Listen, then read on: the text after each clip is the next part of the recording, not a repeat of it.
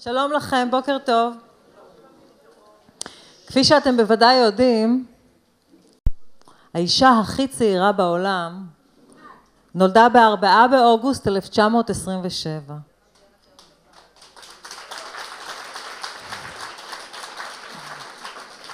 וזה אומר שלפי התאריך הלועזי היא חוגגת בעוד שבוע יום הולדת 90 בלבד ומחר, לפי הלוח העברי, נכון נעמי? מחר יום ההולדת שלה לפי הלוח העברי. הערב כבר, הערב אומרים לי. אה, בסדר, כי ה... כן, זה נכון. נעמי נולדה לבית חיסין בתל אביב, נכדתו של דוקטור חיים חיסין, ממייסדי העיר, בת ליחיאל ולעדה. במלחמת השחרור הייתה מכוכבות להקת הפלמ"ח, כן, זו היא ששרה את הסולו ב... וגם באי הג'יפ, נכון, את צודקת. זה מאוד יפה שאת יודעת את זה. בת הזוג של שייקה אופיר, לדואט בזה, בזה הג'יפ. בשנות החמישים היא מתעצבת להיות הדבר הנפלא הזה שנקרא נעמי פולני. היא הופכת לבמאית הלהקות הצבאיות שהיו אז בראשית דרכן, עבדה עם להקת פיקוד צפון, עם גייסות השריון ועם להקת הנחל. סגנון העבודה שלה, העבודה עם הזמרים, השילוב שבו באמצעות משחק ופנטומימה הם מביעים את מילות השיר, התקבע בלהקות הצבאיות במשך שנים רבות. בשנת 1960 ביקשו מנעמי כמה ממשוחררי להקת הנחל, בהם יהורם גאון, ישראל פול יעקב, ליאור ייני וחנן גולדבלט, להמשיך לעבוד יחד. נעמי קיבצה משוחררי להקות צבאיות נוספים והקימה את להקת ומי נתן את השם? נכון. אתם טובים? רק כדי לשבח.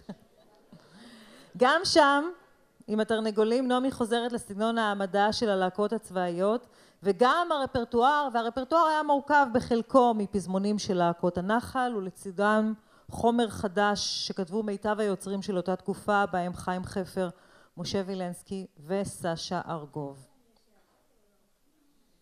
אה, יש לך הערות? אני בטוחה שיש לך הערות. טוב, עוד מעט נעמי. ומי לא היה שם? כאמור יורם גאון וחנן גלולבט וישראל פול יעקב וליאור ייני ושייקה לוי ואחר כך גם גברי בנאי ועליזה רוזן ודבורה דותן וכך הגיעו אל עולם הזמר הישראלי פזמונים שהפכו לנכסי צאן ברזל נצחיים כמו הכל זהב אמרתי שהם היו לא, זה מין קריאת התפעמות. מי לא היה שם בתרנגולים? נעמי, כולם היו איתך. כולם היו איתך, בהחלט. בואי, שבי איתי וננחה ביחד וזהו. בקיצור, התרנגלים מכניסים אל עולם הזמר העברי נכסי צאן ברזל, כמו הכל זהב ופנס, ופנס בודד וככה סתם, ויוסי ילד שלי מוצלח, כשאת אומרת לא, שיר השכונה, השמלה הסגולה ועוד ועוד ועוד, שם בלול נולדה גם שלישיית הגשש החיוור. וגם הרכב, הרכב נוסף שביימה נעמי בהמשך, החמציצים. בשנת 1998 נעמי יצרה את המופע התרנגולים חוזרים או התרנגולים אלפיים עם הרכב זמרים צעירים בהם גם בנה יותם ייני שנמצא גם הוא איתנו והם מבצעים את שירי הלהקה המקורית. בשנת 2006 נעמי שיחקה בסרטו של עודד דוידוף מישהו לרוץ איתו על פי ספרו של דוד גרוסמן ואחר כך היא גם שיחקה בהצגה איולף הקטן מאת איפסן בתיאטרון הבימה. בפברואר 2017 ובין לבין כמו שאמר לי אותם קודם לכן אימא שלי כל הזמן עסוקה כל הזמן עסוקה בפברואר 2017 כשהיא כבר נושקת לתשעים היא מוציאה את הסינגל קח את ליבי מילים חיים חפר לחן ושירה הגברת פולני. היא זכתה בפרס משה הלוי לאומנות הבמה מטעם עיריית תל אביב. בשנת 2007 קיבלה פרס אקו"ם על מפעל חיים. אוטו אני חושבת שיהיו היום המון הערות ביניים. אוטו לפי ההרכב. אות הוקרה מאוניברסיטת בר אילן על תרומתה לזמר העברי. מנישואיה לזמר ולשחקן ליאור ייני נולדו שני ילדיה, יותם ואיה. הבמאי מיכה לוינסון, שהלך לעולמו השנה, אמר עליה, נעמי, משהו מיוחד. לא בדיוק מלחינה, לא בדיוק תמלילנית, לא בדיוק כוריאוגרפית. במאית קוראים לזה. לפי מיטב ידיעתי היא גם וגם וגם. נוגעת בשלמות. לך, נעמי יקרה, כאמור האישה הכי צעירה בעולם, נכון? אנחנו מקדישים את קבלת השבת הזו והרבה הרבה ברכות. מזל טוב מכולנו.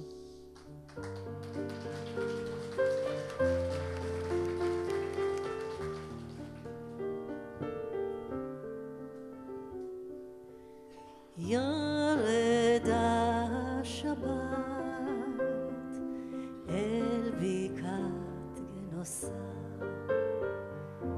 וניחוח עתיק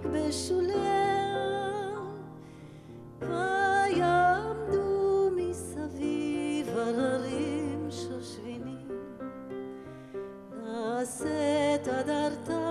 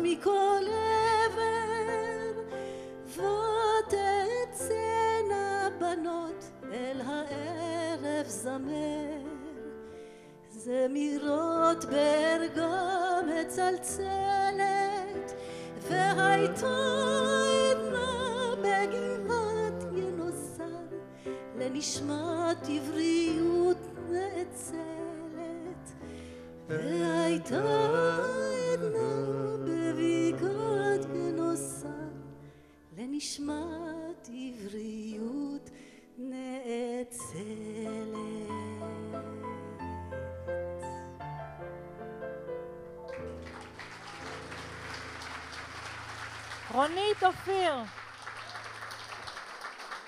ורמי הראל, המנהל המוסיקלי של כל קבלות השבת שלנו, שעוד ישובו אלינו בהמשך ולפרשת השבוע, פרשת דברים. אני מבקשת להזמין את המשורר והסופר מירון איזקסון, בבקשה.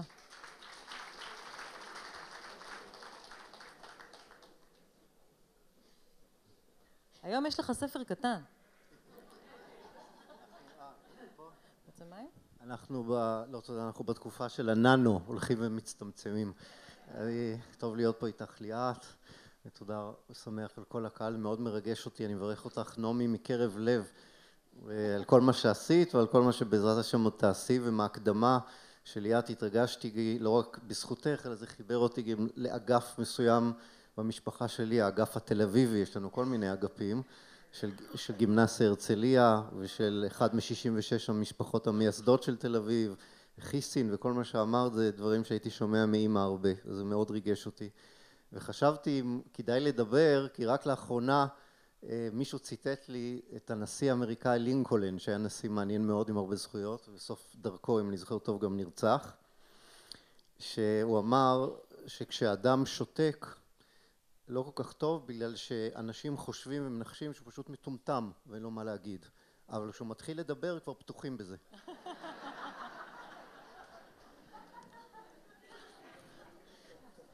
אה, אנחנו, אנחנו מתחילים בספר דברים ותמיד קוראים את הפרשה הזאת, את פרשת דברים, לפני תשעה באב, וזאת גם הסיבה שאני לא מגולח, אני שונא לא להיות מגולח, ככה אני בשלושת השבועות לשבת מתגלח, אבל בשבת האחרונה לפני תשעה באב החלטתי בינתיים, נראה אם יהיה לי את הכוח הנפשי להישאר כך.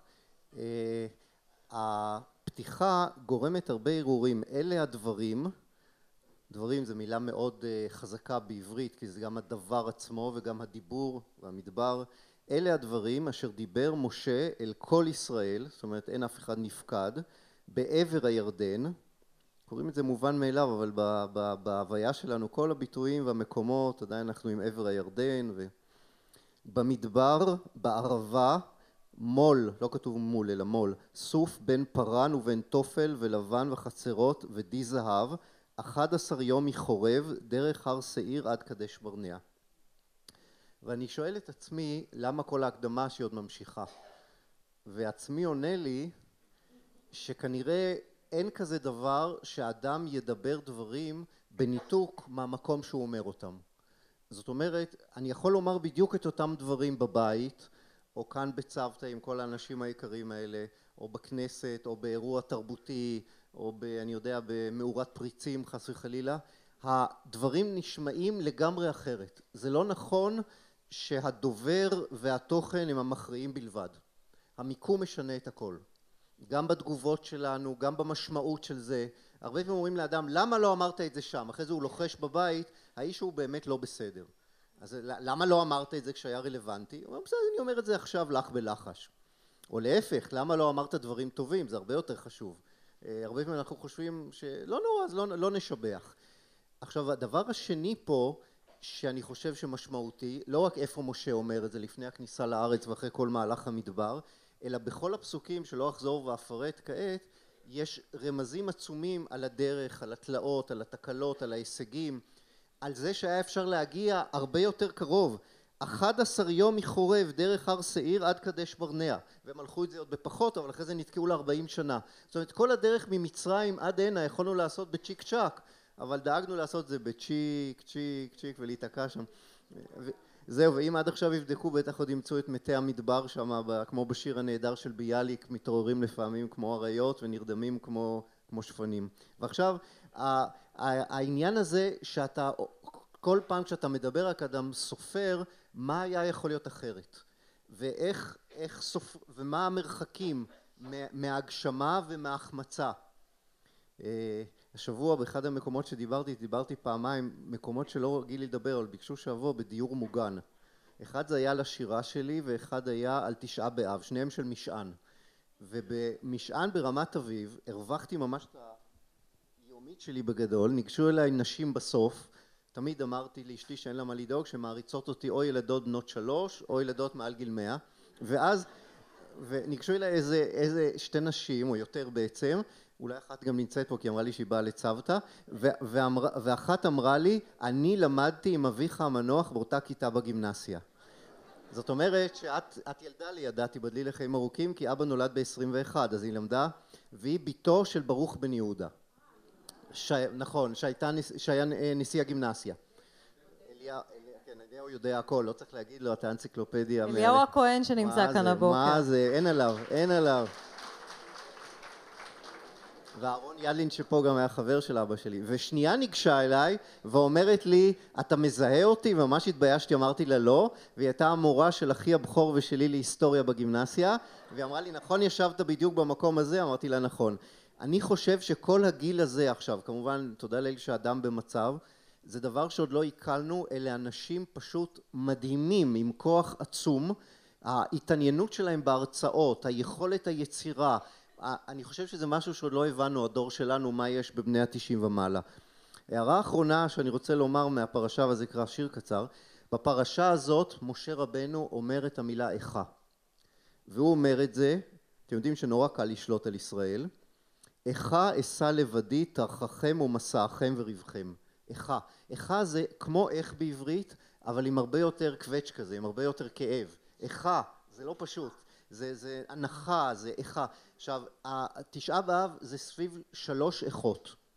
איכה הראשונה היא של משה.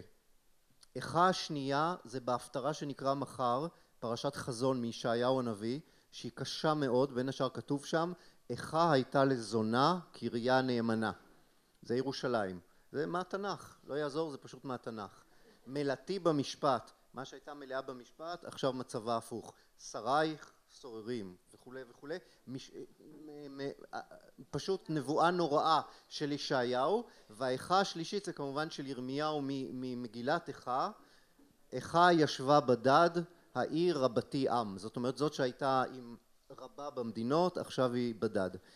והמילה שאני יכול לומר מול האיכה הזאת כהצעה לנו לחברה הישראלית חוץ מזהירות וחוץ מ...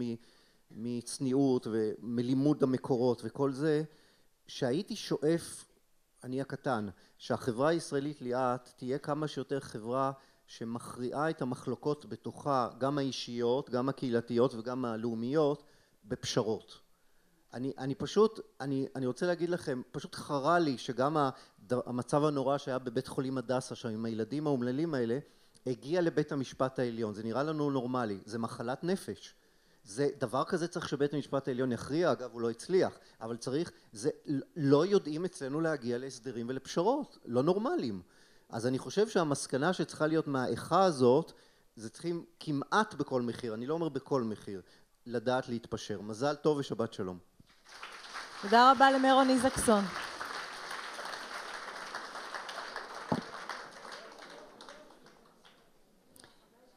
ואני מבקשת להזמין את מי שהייתה תרנגולת גם היא. את יודעת מי זאת? אבל אל תגלי. לא תגלי? לא תגלי. את יודעת מי זאת. טוב שלא גילית. מאז גדלה ו... והפכה להיות אחת השחקניות המובילות והמצוינות בישראל. את עליזה רוזן, בבקשה. עליזה, עליזה. עליזה, מפה. היי.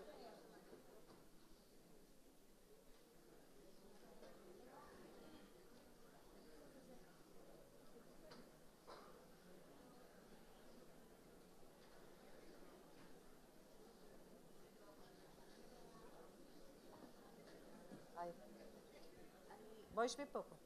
אבל איך אני... איך תקראי? אני אחזיק לך את המיקרו. את רוצה לעמוד?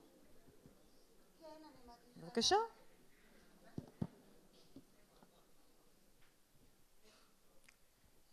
ככה.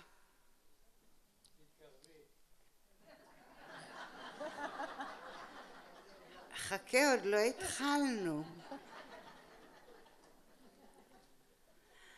אני בשנים האחרונות מפתחת כישורי כתיבה, כי כל שאר הכישורים שלי... אז זה יצא שהמון דיבורים כבר על ההתחלה. טוב, אז אבל לא למדתי את זה בעל פה, גם הקישור הזה כבר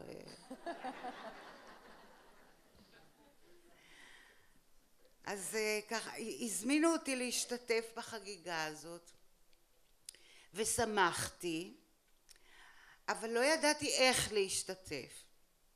אמרתי שאני לא יכולה להופיע כמו שאומרים כי אני לא יכולה לשיר בגלל הגיל, הכוח, הקול והאוויר.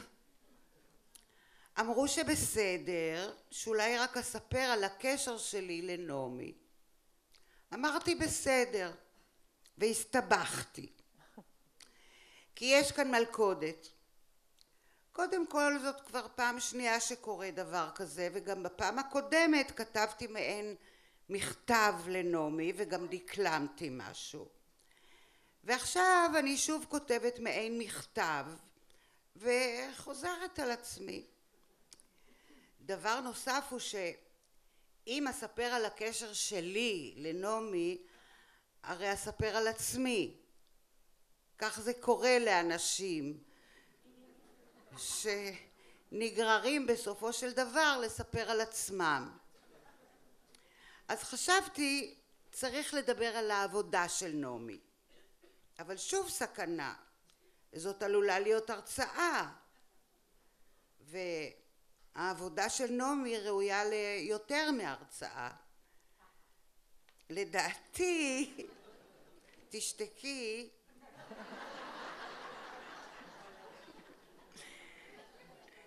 דרך העבודה של נעמי, עכשיו נעמי זה הולך להיות רציני, אז אה, כבוד.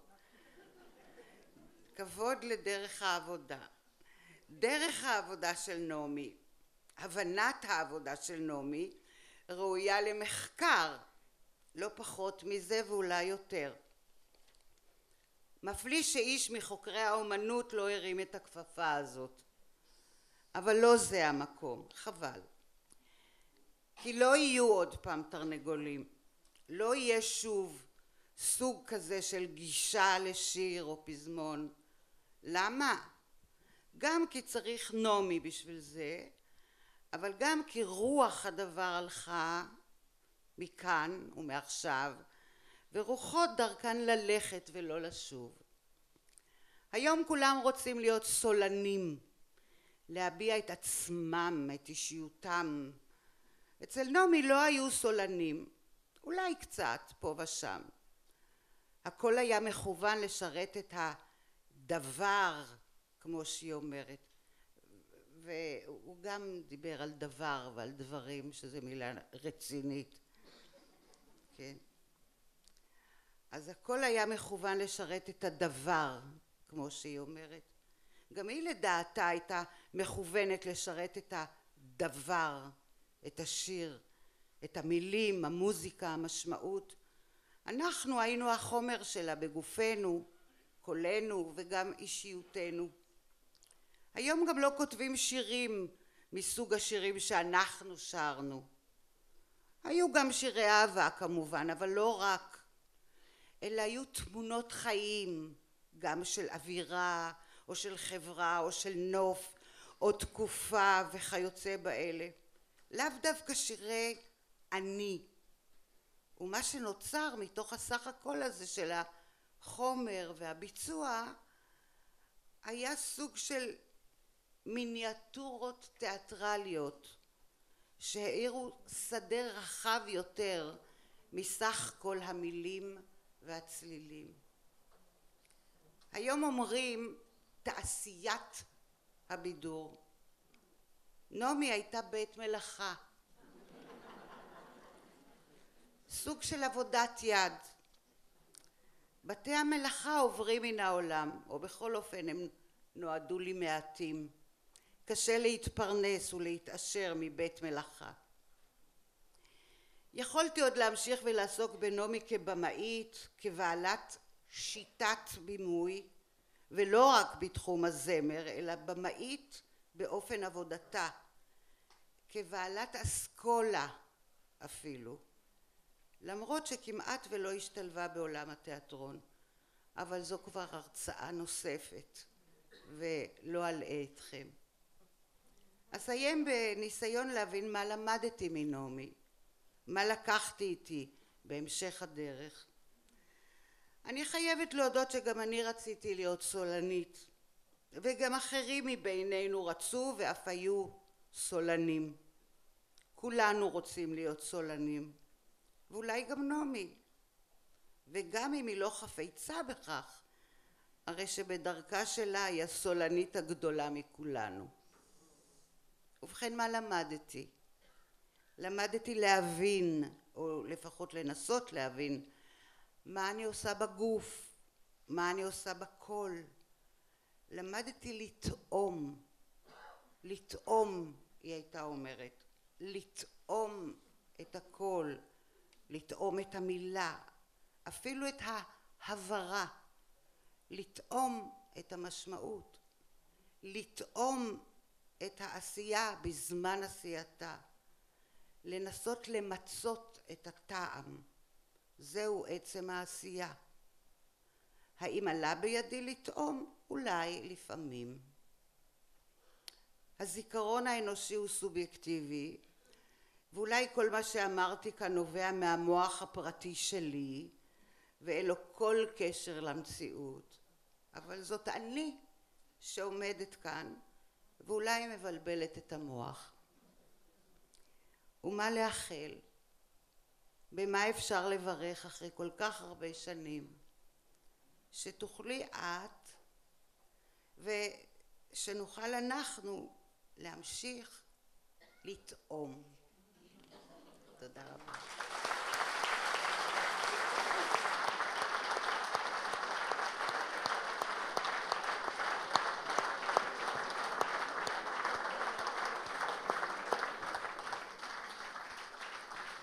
תודה רבה לעליזה רוזן. דווקא היה טעים.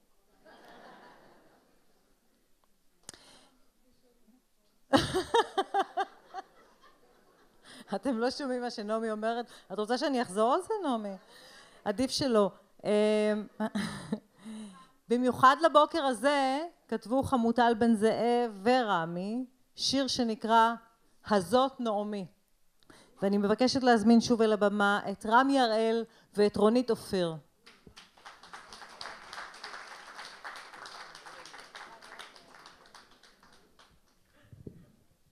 רמי מוסיף שזאת יוזמה של נועם אה, גילאור.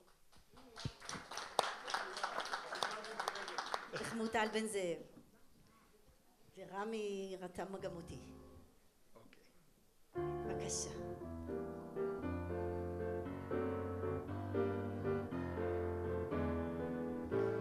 הזאת נעמי, כי נעמת לנו מאוד, את תפארת לעמי, ועלינו הכבוד. הזאת נעמי, בואי קחי את ליבי, נעמי ותמי כל הניגונים שבי. לך זרים של חמציצים, האם האם אמרו לך פעם אוהבים מעריצים, מאז נשמע הטעם. איך לתת את הגיג, איך לכתוב את התנועה. תסתכלי על הירח, עוצמה יפהפייה.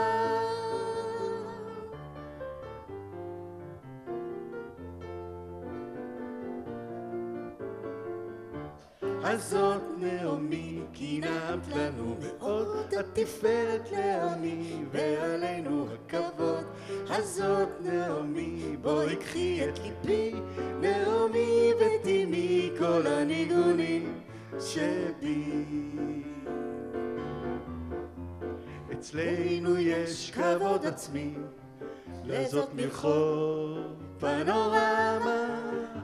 כשאת אומרת לא, אז מי? גם אם תרצי וכמה. שיר השוק, שיר השכונה, שמלה סגולה או לבנה.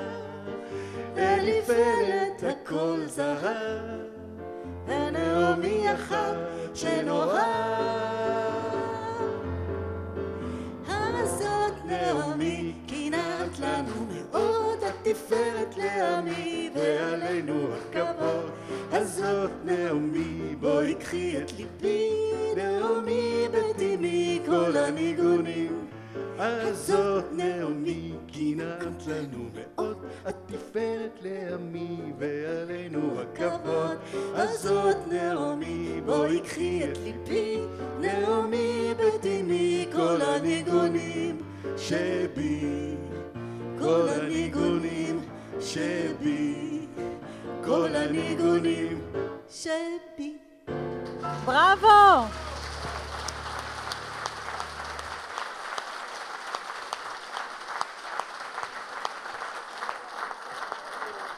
רונית אופיר ורמי הראל שגם על הלחן. איך הייתה העמדה? יפה? לשביעות רצונך? טוב. ותודה רבה כמובן לחמוטל בן זאב על המילים.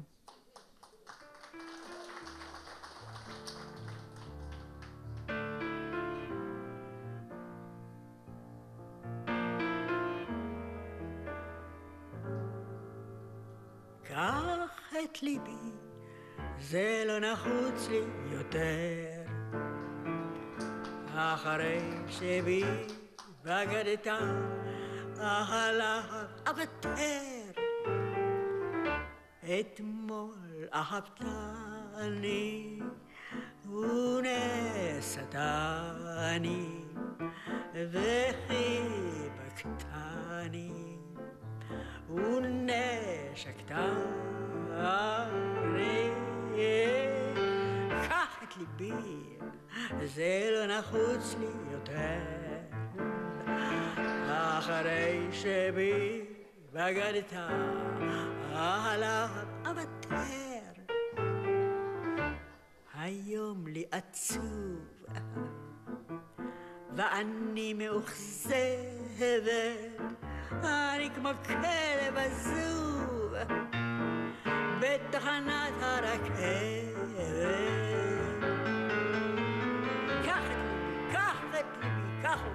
זה לא נחוץ לי יותר אחרי שבי בגדת עליו אוותר כשאני לבדי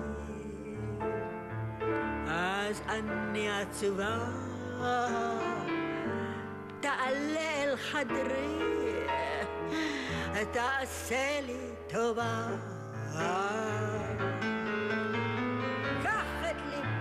את ליבי, זה לא נחוץ לי יותר. אחרי שבי בגדת עליו אוותר עלה אל חדרי. אני מעוצבנת כשאני לבדי אז אני מעשנת קח את ליבי. קח אותו, קח אותו. זה לא נחוץ לי יותר. לה אחרי שבי בגדת עליו אוותר או הגשם דולף, אוזנינו תשמענה, לב דופק אל מול לב, אל תלך אל שושנה.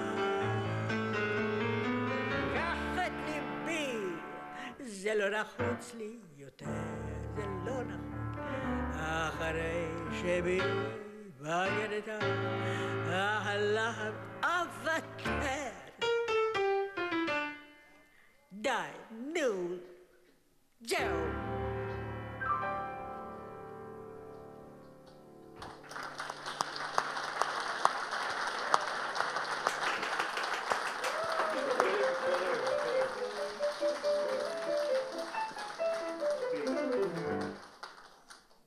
ואני מבקשת להזמין על הבמה את נועם גילאור, בבקשה.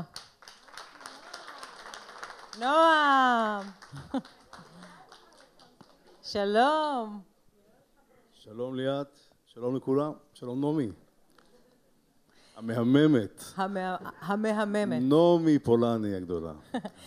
איך זה נולד? בעצם השיר הזה, היא, היא לא הלחינה אותו עכשיו, נכון? הוא הולחן בשנות החמישים. נכון, ב-53, אם אני לא טועה, לפי מה שנעמי סיפרה.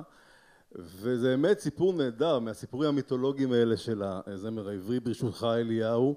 אה, קבל סיפור. זה הולך ככה. אה, תנסה, תנסה לספר לו משהו כן, חדש. אני כן. לא אספר את זה כמוהו, אבל אני אנסה להתקרב איכשהו. אז אה, זה התחיל באמת בשיחה ביני לבין רמי הראל, חברנו, ש- שהוא חבר נהדר, וחיפשתי איזשהו נושא לעשות תוכנית, והתחילה שנת אה, 90 שנה לנעמי פולני, ש... פעם ראשונה, כן? ואז אה, אומר לי, אמרתי לו בוא אני רוצה לחפש אה, תוכנית, אה, נושא לתוכנית שלי ציפורי שיר ברשת ג', זכרה לברכה. נקווה שעוד תשוב, נועם. נראה, כן. והוא אומר לי, תעשה תוכנית לנעמי פולני. אמרתי לו, רעיון מצוין. ואז אני מתחיל לקושש שירים, חיפשתי גם דברים מיוחדים בתקליטייה, ומתחילה לתרגל לתוכנית ואני מתקשר ליעל שחר שריד המאיירת הנהדרת שאיירה את הציור הזה, את הקולאז' הזה לסינגל, מגיע אותו עם מחיאות כפיים, כן? ואני אומר ליעל, שגם נמצאת פה כמובן, אני אומר ליעל, יש לך איזשהו רעיון לאיזשהו שיר ששכחתי? אז היא אומרת, אל תשכח את השיר שנעמי הלחינה, קח את ליבי. אני מיד שולף את זה, הגרסה היחידה שיש בתקליטייה שדרורה חבקין, מאלבום שירי, אה, אה, אה, שירי רחוב, שירי סלנג. ואני לוקח את דרורה חבקין ואני משמיע את זה יחד עם שאר השירים ואני מכריז בשידור, זה השיר היחידי שהלחינה נעמי פולני, הסכיתו ושמעו. ואני משדר את השיר ואני מאוד מרוצה מהתוכנית ואפילו נעמי פולני בעצמה מרוצה. היא מתקשרת אליי בסוף השידור ואומרת לי, תשמע נועם, אני רוצה להגיד לך, את התוכנית מאוד יפה, זה מאוד נחמד, מאוד מחמיא לי, אבל יש לי בקשה אליך. אתה שידרת את השיר הזה, קח את ליבי, אל תשדר אותו יותר. ולא רק שלא אתה תשדר אותו יותר, תדאג שאף אחד לא ישדר אותו יותר. אמרתי לה, נעמי, למה? מה, הבעיה עם השיר? זה שיר נורא נחמד. היא אומרת לי, אה, זה דחקה, מה זה השיר הזה בזלזול, אבל מעבר לזה, יש שם טעות קשה. יש שם שתי טעויות, היא אומרת לי. דבר אחד, היא הוסיפה, דרורה חבקין, את המשפט הזה, ולך לעזאזל. וזה נורא בעיניי, אומרת נעמי, זה לא שייך. חיים חפר לא כתב את זה, אין שום סיכוי שהוא יכתוב כזה משפט בשיר, ולך לעזאזל. דבר שני, יש שם גם איזשהו, אתה קח את ליבי, זה לא עלייה, זה קח את ליבי, יש שם ירידה. קח את ליבי, היא תקנה שם גם משהו במנגינה. היא אומרת לי, בקיצורו של דבר, אל תשדר את השיר הזה יותר. אמרתי לה, תשמעי, נעמי, אבל זה הביצוע היחידי שיש מוקלט, וזה שיר נורא נחמד, איך אפשר לא לשדר אותו? ואז אה, בא לי איזשהו רעיון, ואני אומר ככה, בדחילו ורחימו, מה דעתך שנעשה תיקון היסטורי לרגל יום הולדתך הקרב והוא בא? התשעים הראשון. התשעים הראשון. ותקליטי את השיר הזה בקולך. אה, היא כמובן פסלה את ההצעה שלי מכל וכל, אבל בסופו של דבר, אה, בזכות רמי הראל, שמגיעות לו מחיאות כפיים כי הוא איש... איפה אתה רמי? הוא ישוב, הוא ישוב. והצלחנו לשכנע אותה ואני רוצה לספר לכם עוד במילה אחת על חוויה יוצאת דופן שהייתה לרמי ולי וזה לא אמרנו אה, אה, לנעמי ואנחנו אה, החלטנו באותו יום שקבענו אולפן בתל אביב לקחת אותה מכנרת, המקום שבו היא גרה לא רחוב כנרת בתל אביב, אלא מושבה כנרת שבכנרת, קצת רחוק. ואנחנו נוסעים בבוקר, לוקחים אותה לאולפן, והנסיעה הזו עם נעמי, שאנחנו שנינו יושבים מקדימה, אני נוהג, נעמי מאחור, הנסיעה הזו הייתה אחת הנסיעות המדהימות שאני זוכר.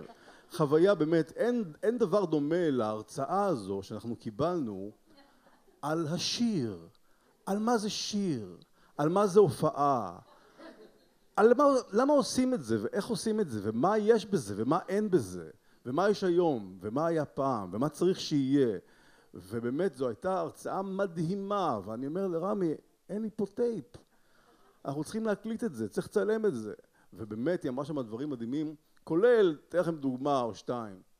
חיקוי מדהים שנעמי עשתה לדונלד טראמפ אז הוא עוד לא נבחר לנשיא, אתם צריכים, לדעתי נעמי, אנחנו נבקש ממך לתת איזשהו כאן אה, אה, אה, פיליטון של דונלד טראמפ.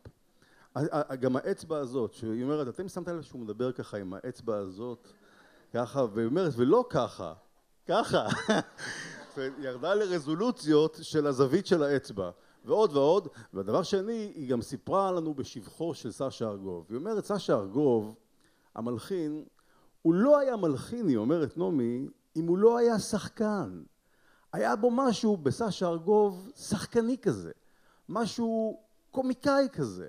והיא מתארת לנו כל מיני פרזות של אה, אה, משפטים שהוא הלחין, שאומרת שמישהו שהוא לא שחקן לא יכול להלחין ככה. ויורדת באמת מה שנקרא לפירוט, לרזולוציות מרהיבות ביופיים.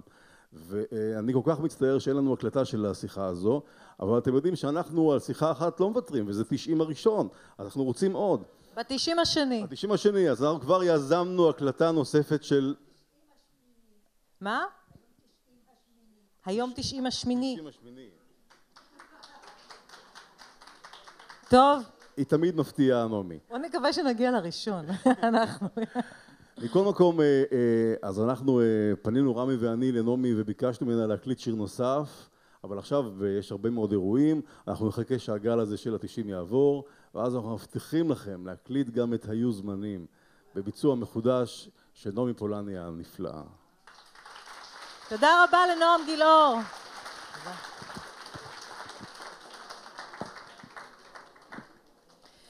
אז כמו שכבר uh, הזכרתי קודם לכן, בשנה, בשנים 99-2000 נעמי חוזרת על התרנגולים עם התרנגולים הצעירים, התרנגולים uh, שנות האלפיים, שביניהם גם הבן שלה שגדל, יותם ייני, שמופיע גם הם בתרנגולים שנות האלפיים, שבעצם uh, מופיעים מחדש עם שירי התרנגולים המקוריים, והבמאי עודד קוטלר עקב במשך שנה אחרי החזרות של האפרוחים הקטנים הללו. בואו נראה קטע מתוך הסרט.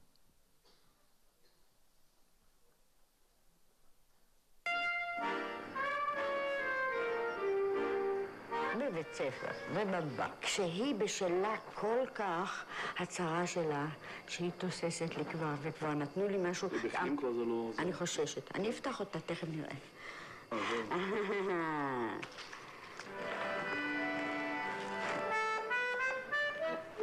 בפרדס, one, two, one, two, פיק, פיק. כן, יותר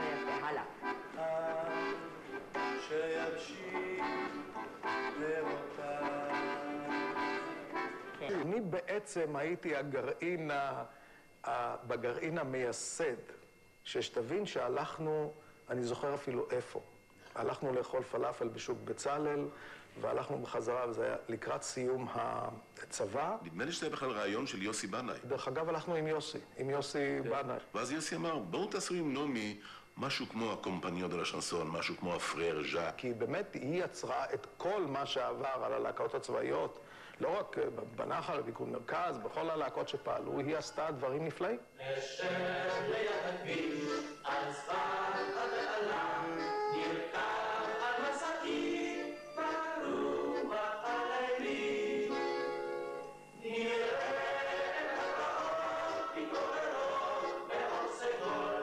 למדנו שיר ושרנו אותו במשך יום שלם ולקראת הערב אמרנו לה כבר, היינו שבעה בחורים שבאו מלהקות צבאיות וכבר אה, שרו ו... אמרנו אנחנו יודעים. די, אנחנו מכירים את השיר.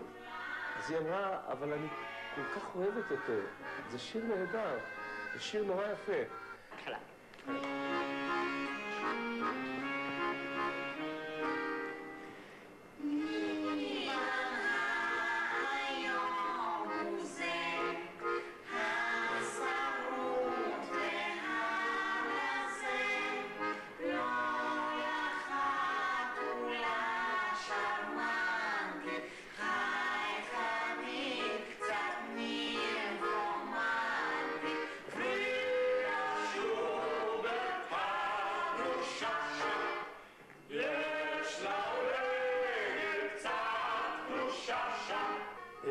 קובעת שחזרה בעשר בבוקר. היא יוצאת מהבית בזמן נניח, אבל היא בינתיים, היא רואה חתול מסכן.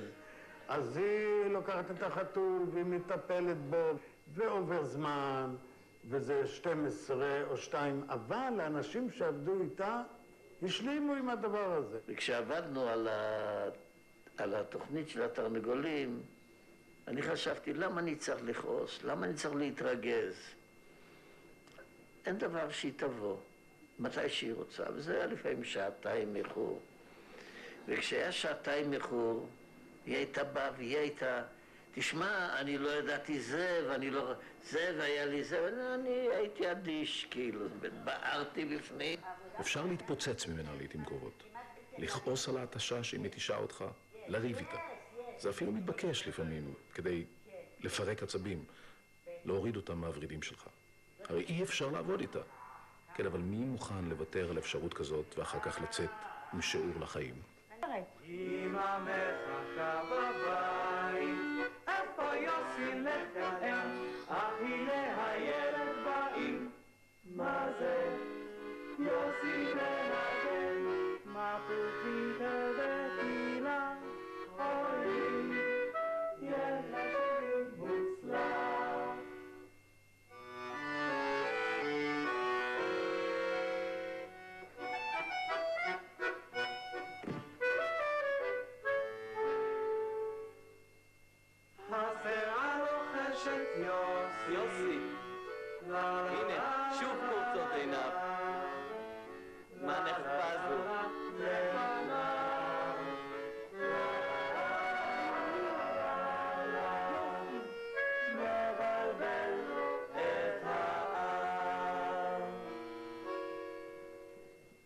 ההצלחה של הגשש נותן כל הקרדיט, נותן לנעמי. מפני שתראה, אומרים אה, איך זה הלהקה מחזיקה כל כך הרבה שנים מעמד, וזה בכל זאת לעבוד כצוות, ואנחנו צוות באמת יוצא מן הכלל, עובדה שמחזיקים מעמד 35 שנים. וזה רק, למה אני אומר רק בגלל נעמי? נכון שצריך כישרון, נכון שצריך עוד כל מיני דברים, אבל נעמי נותנת לך, היא תמיד הייתה אומרת, טובת הדבר.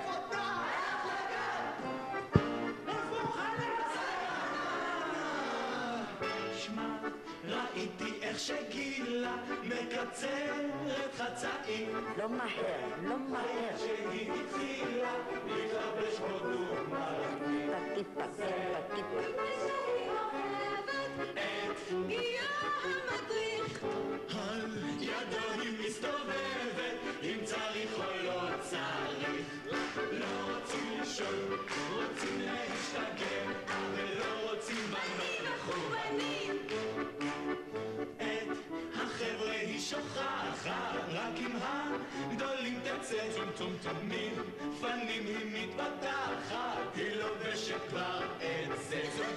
כל היום היא מצוברחת מחמיצה את הפנים. סובבת את התחת ושונאת את לא לישון, רוצים להשתגע אך נשמע מה שאבי אתמול אמר לא רוצים לישון, רוצים להשתגע אך שכל הבחורות אותו דבר נראה את שימלה, הוא הלך עם אימא'לה היא אמרה לו בוא כבר צוציק תקבל זריקה בטוסיק אין גוריון מי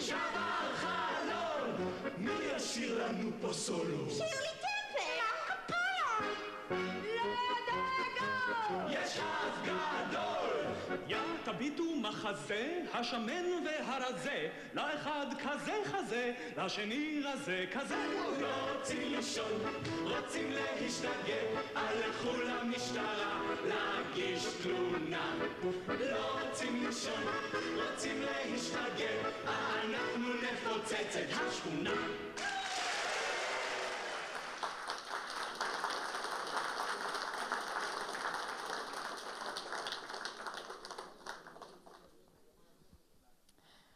ואני מבקשת להזמין על הבמה את ליאור ייני. אני הכרתי את נעמי כשאני הייתי ילד באפיקים. בגיל עשר, היא הייתה שם עם אה, פלוגת פלמ"ח. אני לא יודע כמה זמן הם היו, אבל הם היו באפיקים איזה תקופה. ואני זוכר אותה מאז. היינו יושבים על הדשא הגדול, היא הייתה מצחיקה, לא מצחיקה, אני כבר לא זוכר. אני הרצתי אותה לא רק בגלל העבודה, היא הייתה טיפוס מלא הפתעות. גם בהתנהגות, גם בתגובות, גם בוויכוחים, גם, גם בשנאות, גם בצעקות. גם בצעקות.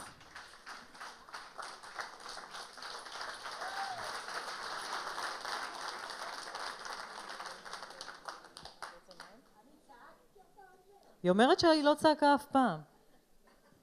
שאתה סתם אומר שהיא צעקה. אני אחראי על מה שאני אומר, על מה שאני אמרתי. אמרת את זה כאן. אני לא זוכר שהיא צעקה. ככה זה בתשעים השמיני, נעמי. יש עוד כמה דברים שאני לא זוכר. אבל אולי תוכל לספר לנו כן על העבודה עם נעמי, על העבודה בת... מה, לא? מה את אומרת? אני עשיתי את העבודה ונהניתי מאוד מהעבודה. לא סבלתי. וזהו. ומה תשאיר לנו היום, ליאור? אני לא יודע למה לא לקחתי שיר מהתרנגולים. אה, שרנו את זה כל כך הרבה.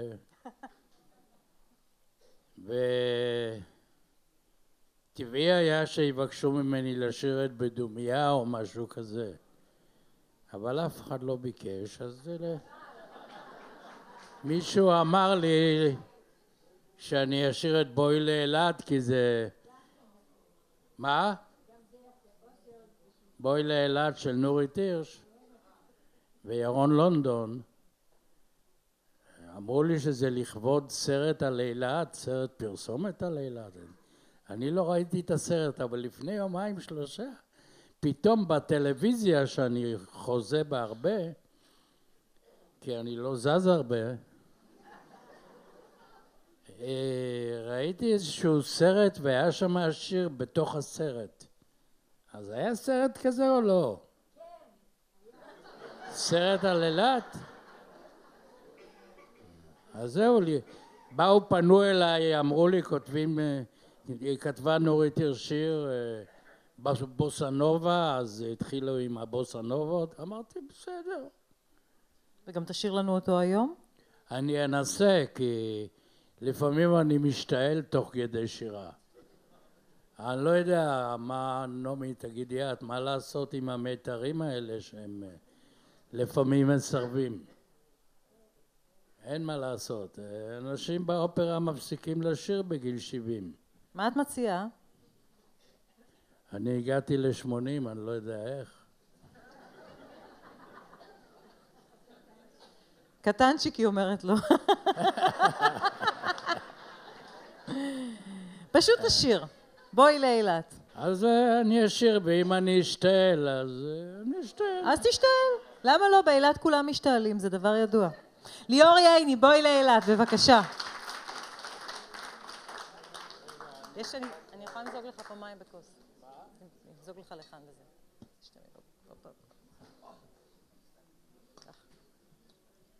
תודה רבה. היד שלי קצת רועדת.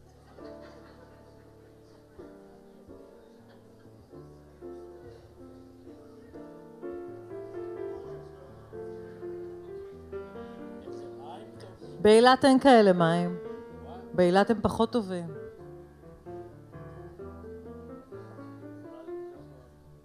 אתה רוצה עוד מים?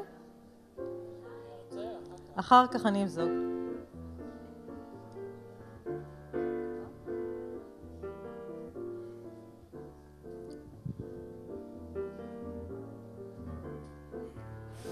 איזה יופי, יש כיסא.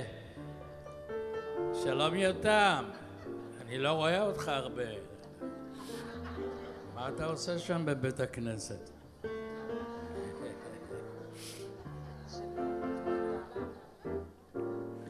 בואי נימלט מן האספלט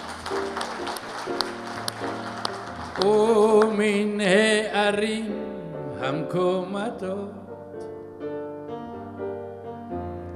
בואי נימלט אל הלגונות השקטות.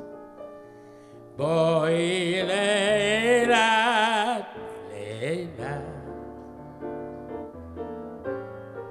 בואי נימלט מן האספלט ומן הערים המקומטות בואי נימלט אל הלגונות השקטות בואי לאילת, לאילת בבירת השמש ננומש בנמש למול הרקיעים נחטוף תנומה והרוח שישוב יישאנו לא לחשוב על מהומה עצומי עיניים, נמלט בשניים, פעמיים אל גני האלמוגים. בין כחול לבין ירוק, את בגדי הים נזרוק, נשליך אותם אל הדגים. בואי נמלט מן האספלט ומן הערים המקומטות. בואי נמלט אל הלגונות השקטות. בואי לאילת,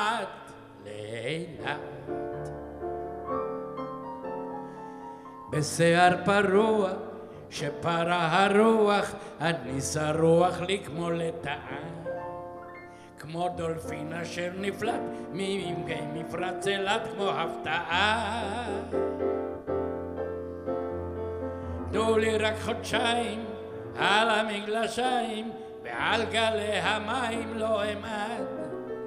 בין ירוק לבין כחול, בין אדם אני יכול, אני יכול לחיות לעד. בואי נמלט מן האספלט ומן הערים המקומטות. בואי נמלט אל הלגונות השקטות. בואי לאילת, לאילת. בואי נגלה את מחוזות הפלא ואת הקסם שבמפרצים. כמו קולומבוס כך פתאום בספינה קלת חרטום של מפרשים. אם הפעם באת, שוב תשוב אילתה, כי בכשפים מאחוז העיר. בוא ואתה אליו תבוא, תבוא אליו יותר צעיר. בואי נמלט מן האספלט ומן הערים המקומטות. בואי נמלט אל הלגונות השקטות. בואי לאילת, לאילת, לאילת,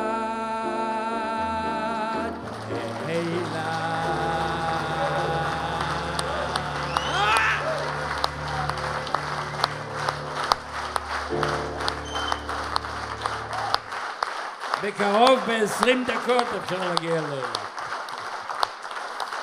ברכבת. תודה רבה לכם. כל טוב. תודה רבה לליאור ייני. מה? נעמי רוצה שתשאיר את בדומיה.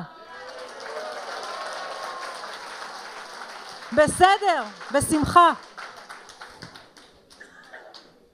טוב, עשינו המון לא חזרות. לזה. מה? הרבה חזרות עשינו. כן. חזרה אחת לא עשינו אפילו.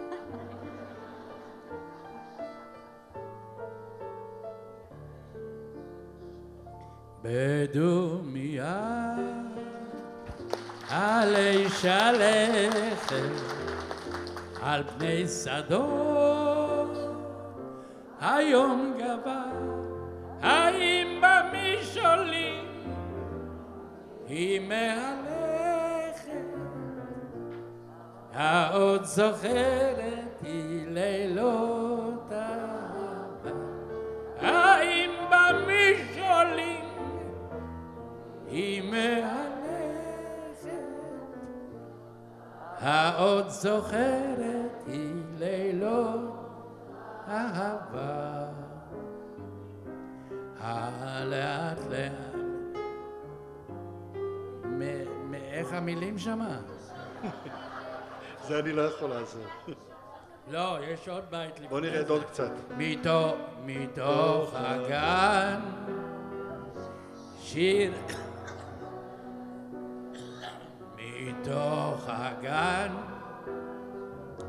שירה זורמת ואל כל גרמוש כעצובה האם בחוצה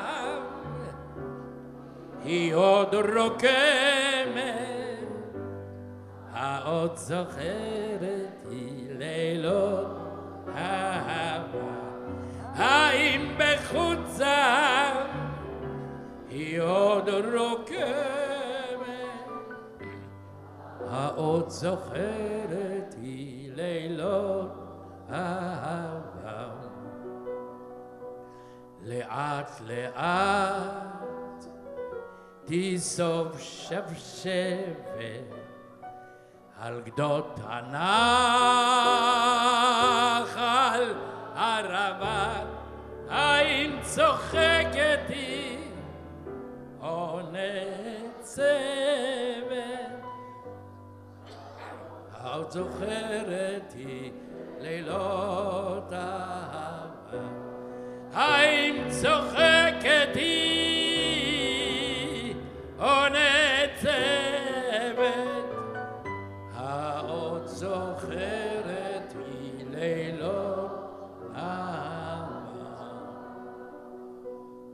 הכפר נרדם מיום הפרק אי שם כוכב אחד קבע אולי עומדת היא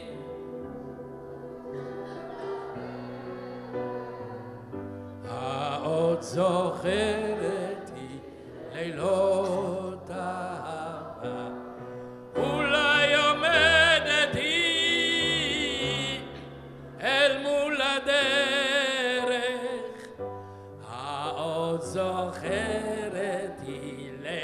לילות אהבה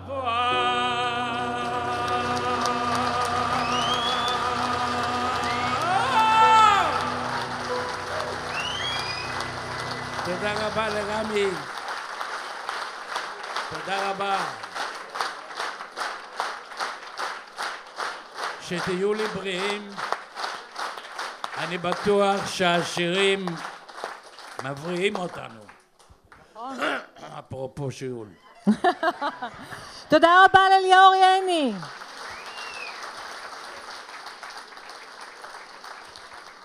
עוד מים? נעמי לקחה לך את המים. המים שלך אצל נעמי. נכון.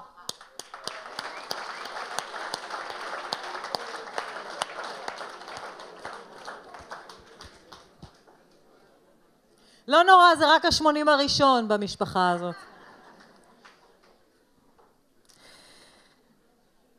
נעמי, את מרוצה? היא אמרה... היא תגיע. היא תגיע, חברים, היא תגיע. אנחנו רוצים לבנות מתח דרמטי לקראת העלייה שלה. את לא תגיע, היא לא תגיע. נעמי בסוף לא תגיע לאירוע. אז כמו שסיפרתי לכם קודם לכן, היא גם הופיעה בסרט מישהו לרוץ איתו, שמבוסס על הספר של דוד גרוסמן, וגם בהצגה איולף הקטן על פי איפסן בהבימה בשנת 2009 עם יבגניה דודינה ויגאל שדה, הנה למשל זה.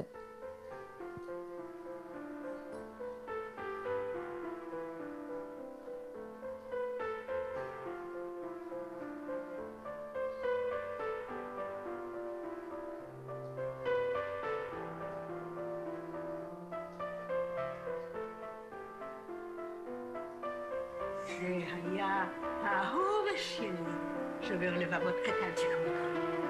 ואיפה הוא עכשיו? למטה, עם כל העכברושים והעכברונים.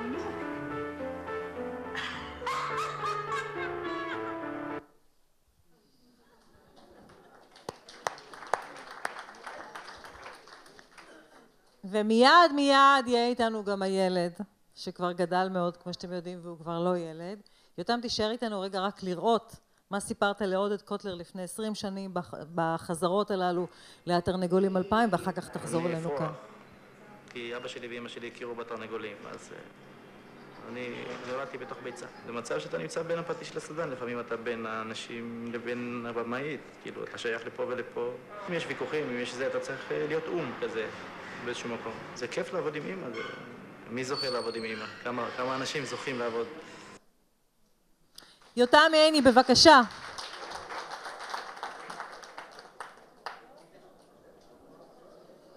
של אבא. המים של אבא, אני יכול לגמור את זה, אבא? איפה הוא? ברוך אתה אדוני, אלוהינו מלך העולם, שהכל נהיה בדברו.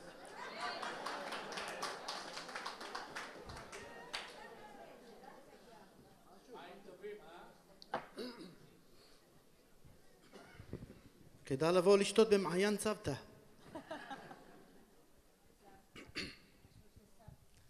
הוא עוד כן, לא הגיע. אה, אין עוד לא הגיע. פסנתרן? אה, אוקיי. הפסנתרן יגיע. לא, אני יודע, אז עכשיו צריך להתייחס למה שראינו פה. עכשיו צריך להתייחס למה שראינו קודם אוקיי. ולספר מה זה להיות הבן של נעמי פולני וליאור ייני. אז אה, אני לא יודע משהו אחר. לא יכול להשוות את זה לשום דבר, אבל זה לא קל.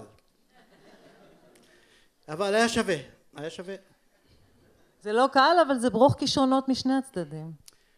אתה אה, יכול להגיד פשוט ברוך השם. ברוך השם, כן. עד 120. זה הולך ונהיה יותר ויותר קל. ויותר- באמת? כן, אין ספק, עם השנים, אה, ברוך השם, זה נהיה... אפילו אימא שלי כבר ממש קלילה.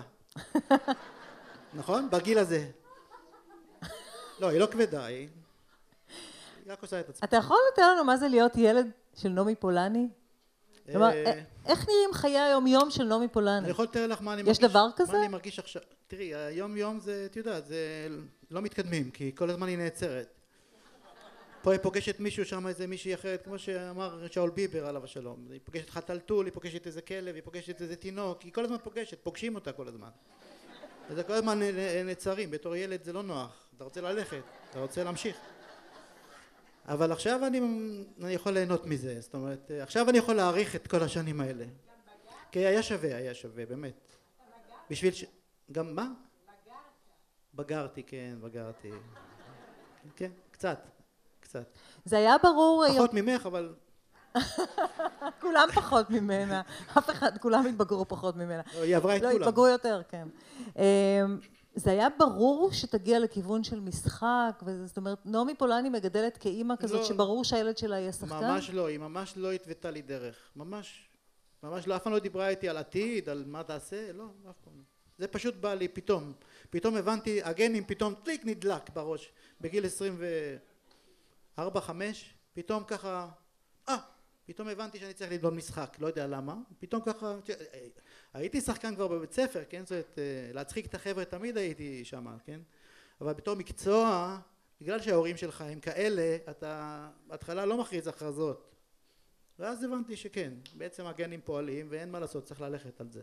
ומוזיקה, שירים, רעיונות להעמדות, זה כל הזמן נמצא בתוך הבית? לא, היא כל הזמן אה, עובדת, היא תמיד עובדת על איזה פרויקט, תמיד. אז אה, זה, את- את- היא לא מראה לנו בבית מה היא עושה, היא תמיד עובדת, תמיד היא עסוקה על משהו, כמו שאמרתי לך. יש לה ציפורים בראש כל הזמן. אה, היא לא יכולה לשבת. עד, שהיא, עד שבסוף היא פשוט, פתאום ככה מתיישבת לרגע וזהו, ונרדמת. היא לא הולכת לישון. אה, היא לא הולכת לישון, היא רק נרדמת. אז בוא נזמין עכשיו את הפסנתרן, רוצה? שהפסנתרן יאללה, יגיע? קדימה. רמי, בוא אלינו. בוא, בוא הביתה.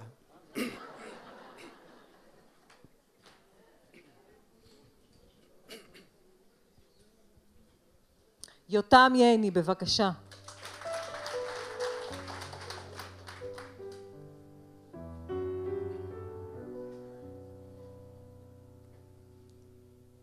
אם עוד החושך רב ואין כוכב לי ואם הים גועש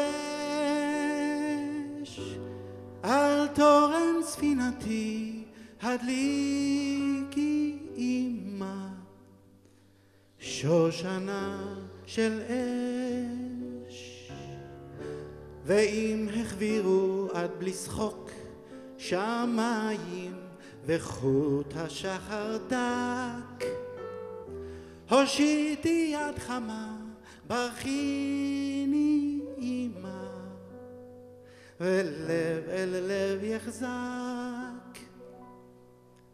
כיפת זהב מעל תחתיי תהום ודמי שאני גל, שאני גל אל ארץ חלומי שאני בתבונה ואל תשאלה מה לי ציפור קטנה, ציפור קטנה באופק מחכה לי. אם כלתי בחלומה תופרת כותונת לאהוב נשקי החרש על מצחה הו אמא אמרי לה כי אשוב ואם תשאל מה הנתיב בים לי ומה לי את צודד הגידי לה מנחת פלאים הו אמא לרך שייוולד כיפת זהב מעל תחתיי תהום ודמי שאני גל, שאני גל אל ארץ חלומי. שאני בתבונה ואל תשאלנה מה לי. ציפור קטנה, ציפור קטנה באופק מחכה לי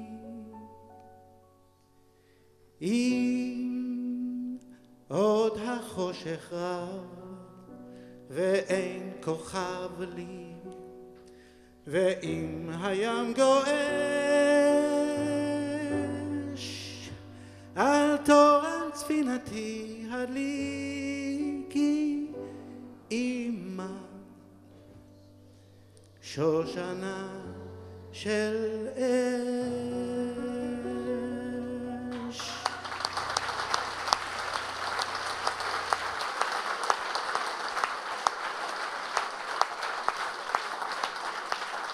הראל ויותם ייני, שאין ספק שעליו אפשר לומר הכל נשאר במשפחה. אז כבר דיברנו, את היית גם בתרנגולים, גם תרנגול וגם גם תרנגולת וגם חמציצה, נכון? גם, נכון נעמי? היא הייתה גם בחמציצים? בוודאי, היא אומרת. שהיו שם ליזה ו- ודבורה דותן וליאור ועוד ועוד, וצביקה, נכון, וצביקה, גרטל. והם המשיכו את דרכם של התרנגולים למשך שנה אחת של פעילות עד שהתפרקו וכעת אני רוצה להזמין את רונית אופיר לכאן שוב. בבקשה רונית.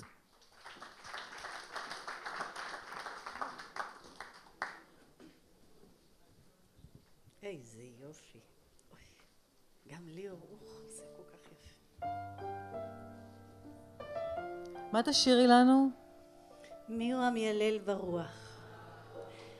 יעקב אורלנד, לחן עממי, רוסי, אוקראיני, משהו. תשאלי את אליהו, אם את לא זוכרת משהו. אליהו כאן. אוי, היי. בלי משקפיים. מי הוא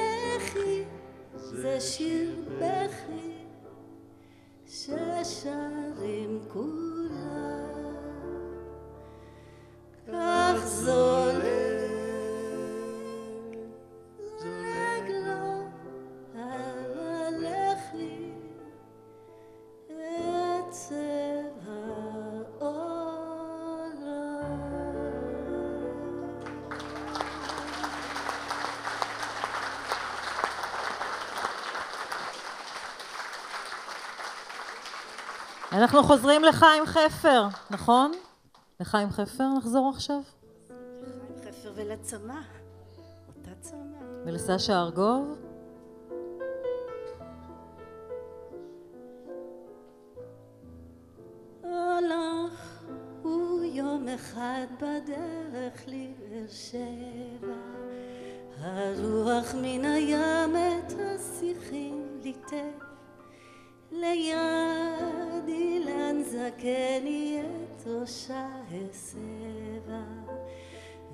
צמתה ירדה ירוד מן הכתף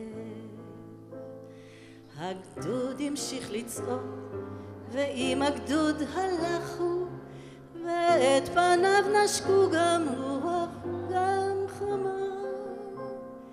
אבל בחניה לילית אחת נוכחו נוכחו כי שכח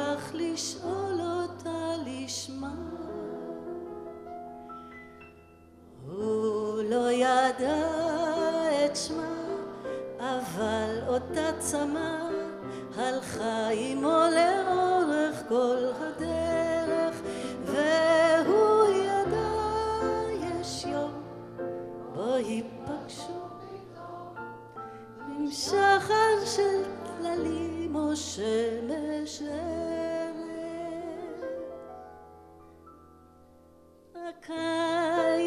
השני החליף גוונים וצבע. פטרול סיור חזר מלילה של סיוון האמבולנס בדרך לבאר שבע. והיא חיכתה חיכתה לו בחלוק לבן. והוא שאל האם? והיא ענתה וכה דיברו שעות איש לא ידע. וכשהלך בלי שוב והיא נותרה חיוורת זכרה היא כי שכח לשאול אותה לשמה הוא לא ידע את שמה אבל אותה צמא הלכה עמו לאורך כל הדרך, והוא ידע יש יום בו ייפגשו פתאום עם שחר של טללים או שמש ערב. הוא לא ידע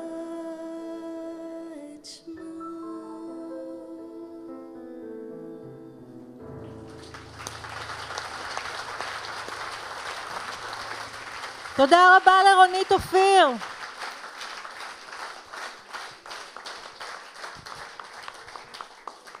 תודה רבה לרונית אופיר. רמי נשאר איתנו על הבמה.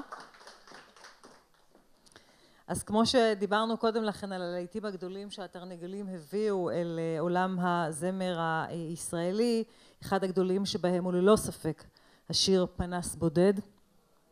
ולביצוע השיר היום אני מבקשת להזמין את יונית שקד גולן.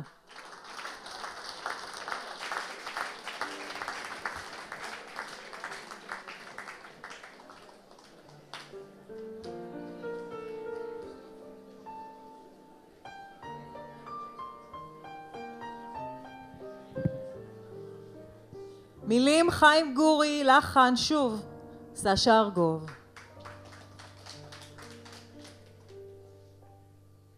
היו היה פנס בודד בקצה שכונה והוא האיר את ילדותנו הקטנה והוא האיר את משחקי המחבואים ולאורו היו הקדרים באים.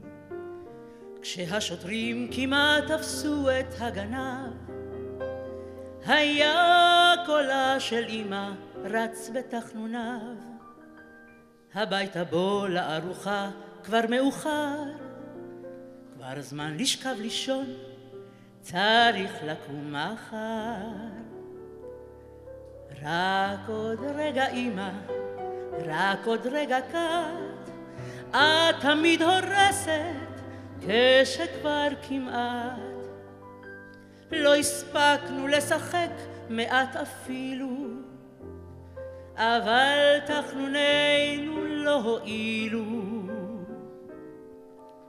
היו היה פנס בודד בקצה שכונה ועל ידו גדר ושער וגינה ושם אמרתי לה את שאומרים כולם על מפתני כל הבנות שבעולם. אך כשידי שכבר מיליון עלים תלשה אז ללטף ביקשה לה את חלקת ראשה. אמרה סליחה יש לי בחינה בסמינר. כבר זמן לשכב לישון צריך לקום מחר. רק עוד רגע רינה רק שנייה אחת. את תמיד הורסת כשכבר כמעט. לא הספקנו לפטפט מעט אפילו. אבל תחנוניי אז לא הועילו. היו היה פנס בודד חלפו שנים. ואור אחר עכשיו מאיר בשיכונים. והשכונות מצאו מקלט בפזמונים. אבל אותם קולות ברחוב ובגנים. וכשפספוס נשען בחוץ על אופניו. והחצר כולה מלאה בשריקותיו אני יוצא אל המרפסת וקורא שמע ילד, לך הביתה. או אני יורד. רק עוד רגע ילד, רק עוד רגע קט, לא נורא, שחק קצת, צעק אבל מעט. אז רציתי להפחיד אותו כאילו, אבל לא ירדתי אפילו. היו היה פנס בודד.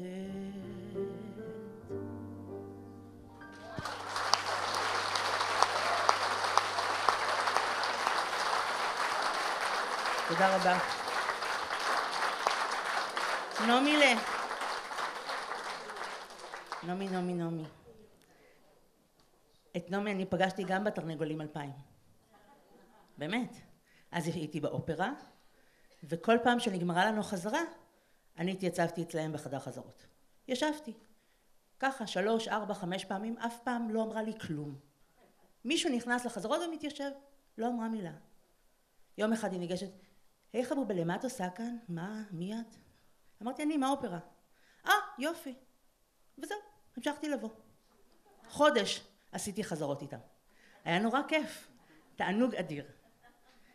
ואז יום אחד נעמי שואלת, אז מה את עושה בעצם? אמרתי, אני זמרת. אה, את זמרת? אז תשאירי לנו משהו. וככה הכרנו.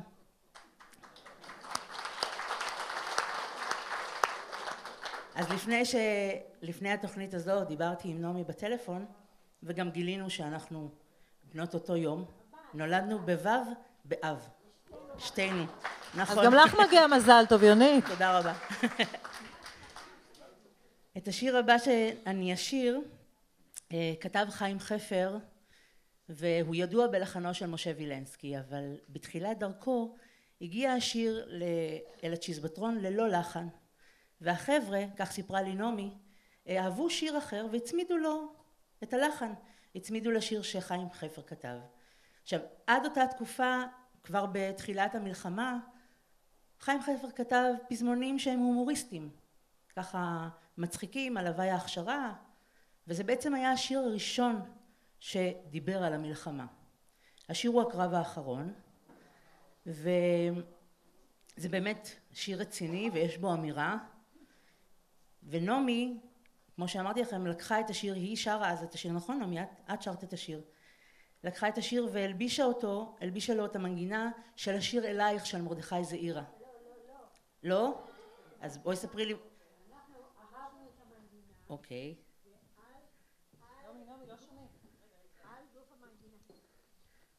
זה, זה נכון, זה, זה השיר הראשון שחיים כתב בהקשר למלחמה שרוכשת סביבנו. אז זה היה השיר הראשון שהוא כתב בנושא המגיב לגבי אשר מתרחש, אבל את המנגינה הזאת, זה היה שיר שאהבנו כולנו. אה, השיר אלייך. השיר אלייך.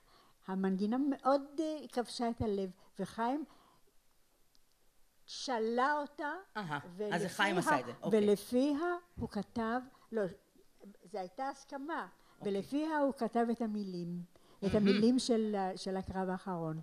ואני רוצה לומר לך, המנגינה מאותתת ככה נואשות חזקות, איך, איך תכני את זה, היא מפטמת את הכותב בטעמים ובמחשבות, היא ממש, ממש מגישה לך מדברת ממש. מצב רוח ו, ואמירה. זהו, תודה רבה, זה הכל. אז אנחנו נשאיר לכם את שני הלחנים, עשינו מיקס, וכששרתי את זה לנעמי, אז uh, היא אמרה, אנחנו עשינו עיגול, עיגולי פינות, ככה, כדי שהמנגינה תתאים. אני לא הצלחתי כי את השיר אלייך אני מכירה לפני, וניסינו, עשיתי ההפך, פשוט התאמתי את המילים למנגינה שהיא של זעירה. אז אני מקווה שזה יהיה קרוב למה שאתם עשיתם.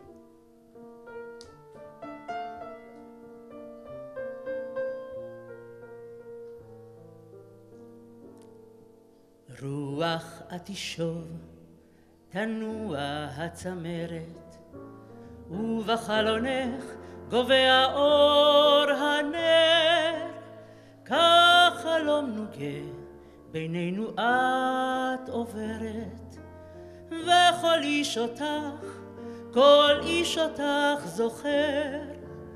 בערוב היום קורא בשמך הנער, והבן לוחש אמי אמי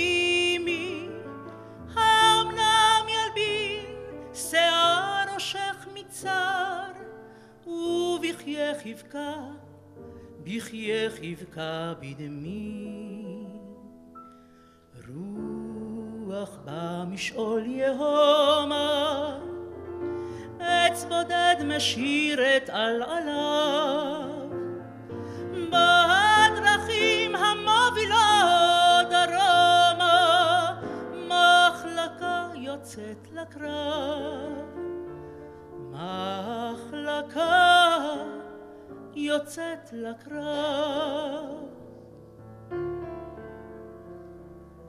עם הנץ כוכב נצא אל הליל, מרחבים חובק מדבר קדמון, מי ידע אחות אם עוד נחזור אלייך, אולי הקרב הוא אחרון.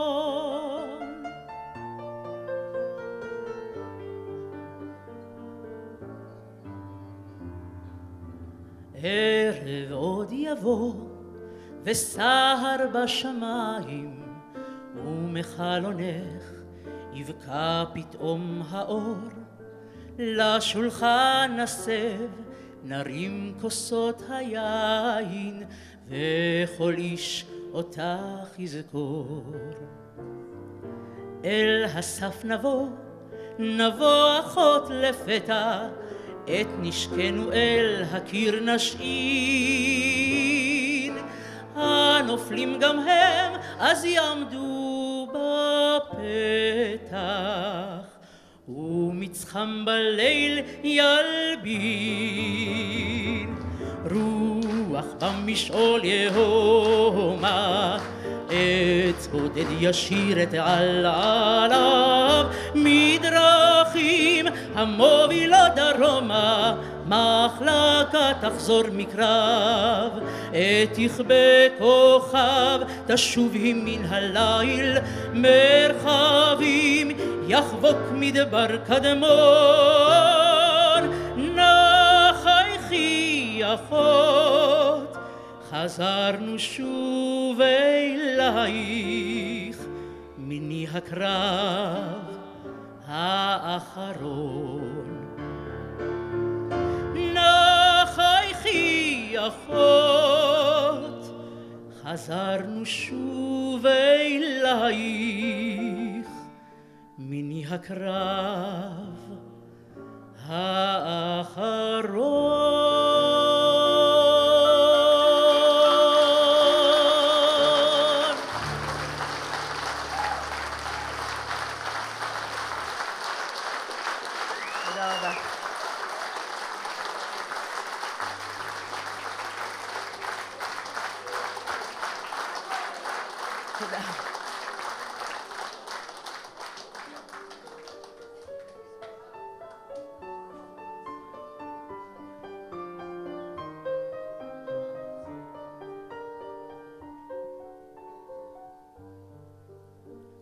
בשלכת נושב כבר הסתיו, האבק בדרכים עד שקע, והיום רק אלייך נשרף, וחולם על פגישה רחוקה.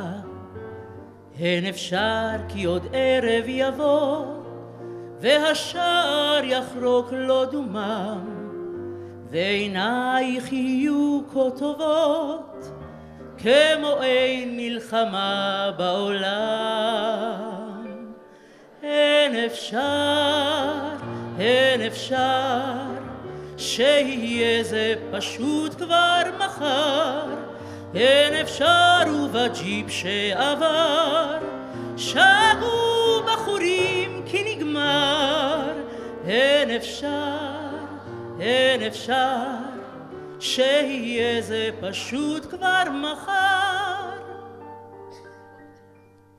אין אפשר כי חדרך העצוב מחכה בחברון קירותיו, וקוראו לשנינו לשוב מדרכים, מקרבות ומסתיו. אין אפשר כי פתאום ניפגש במשלט או בדרך עפר. אין אפשר בין עשן ובין אש גם לחלום שהכל כבר נגמר. אין אפשר, אין אפשר, שיהיה זה פשוט כבר מחר. אין אפשר ובג'יפ שעבר, שגו בחורים כי נגמר. אין אפשר, אין אפשר, שיהיה זה פשוט כבר מחר.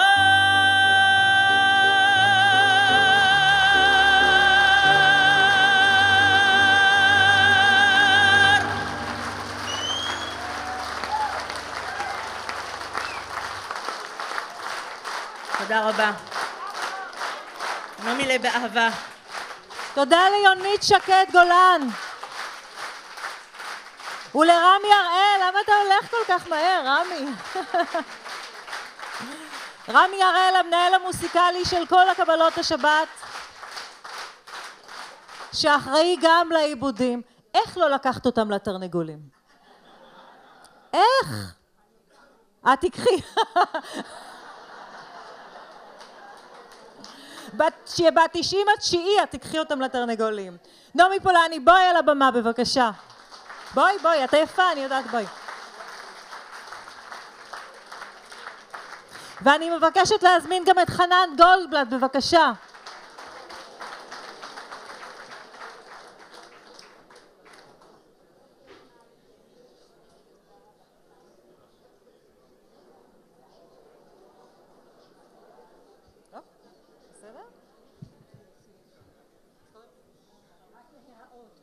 את באה רק להיראות.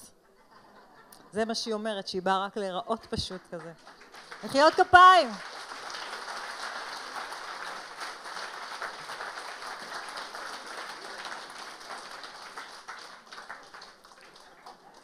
את נראית מצוין.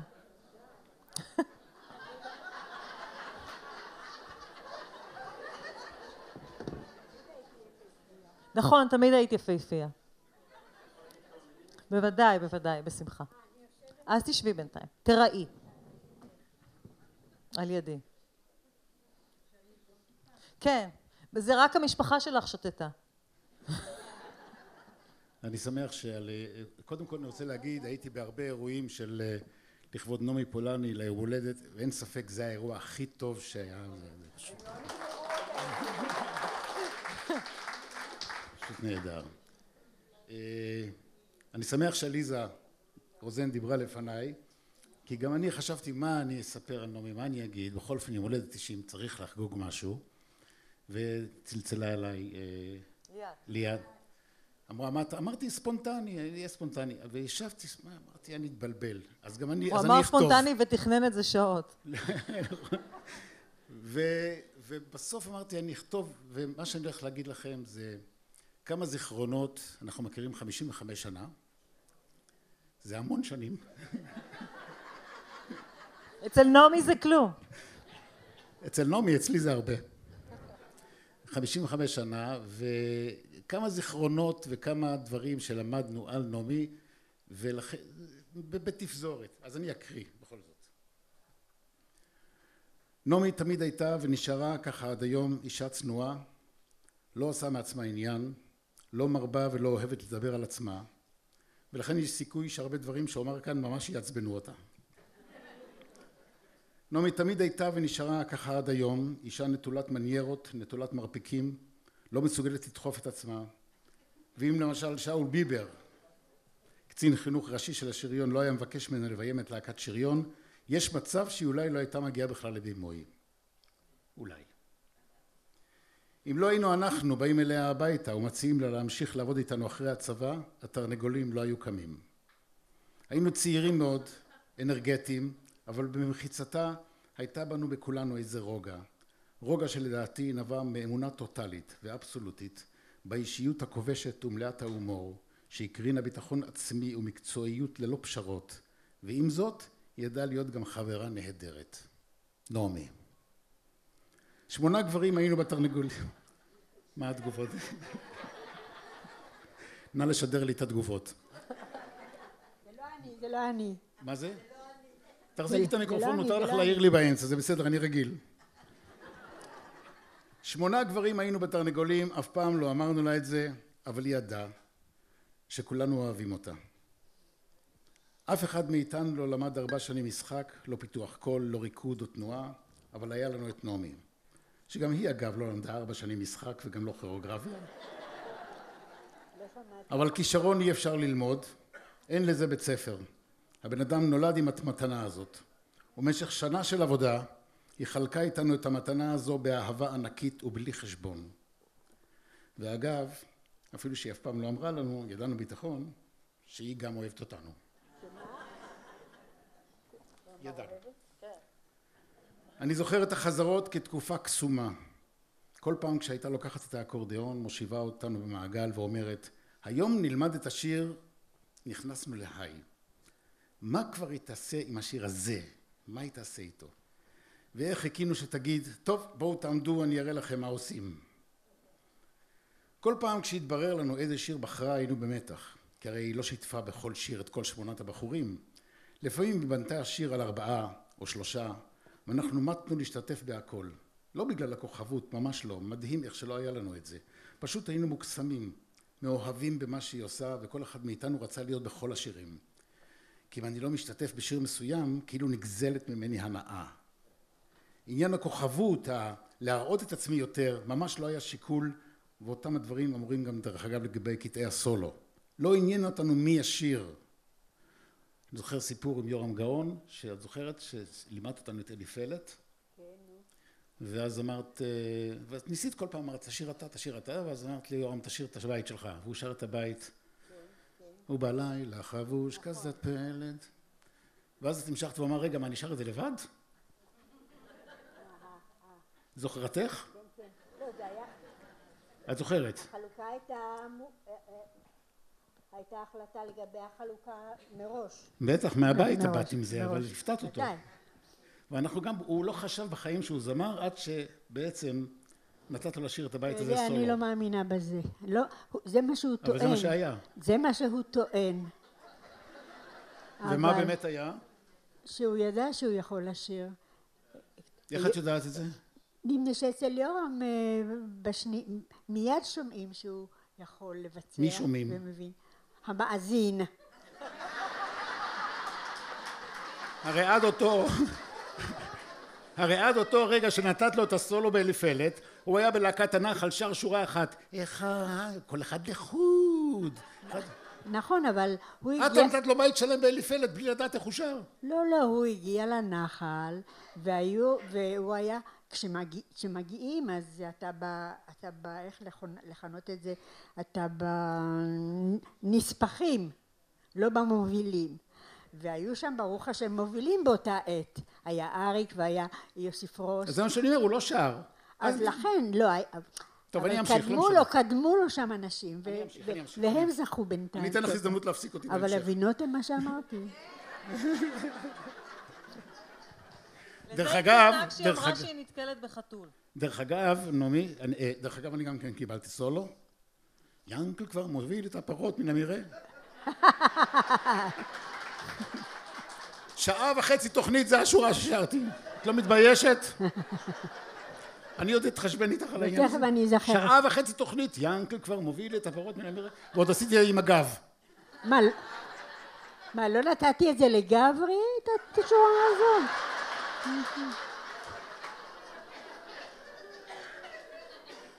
אנחנו נשתה. קפה אחרי התוכנית, אנחנו נדבר אני. נדיבה.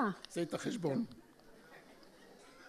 אז נחזור לקטע שהיא באה להודיע לנו מי משתתף בשיר הבא שאנחנו לומדים. זה קטע יפה. מרגע שנכנסה לחדר החזרות היא הייתה באי נוחות כללית.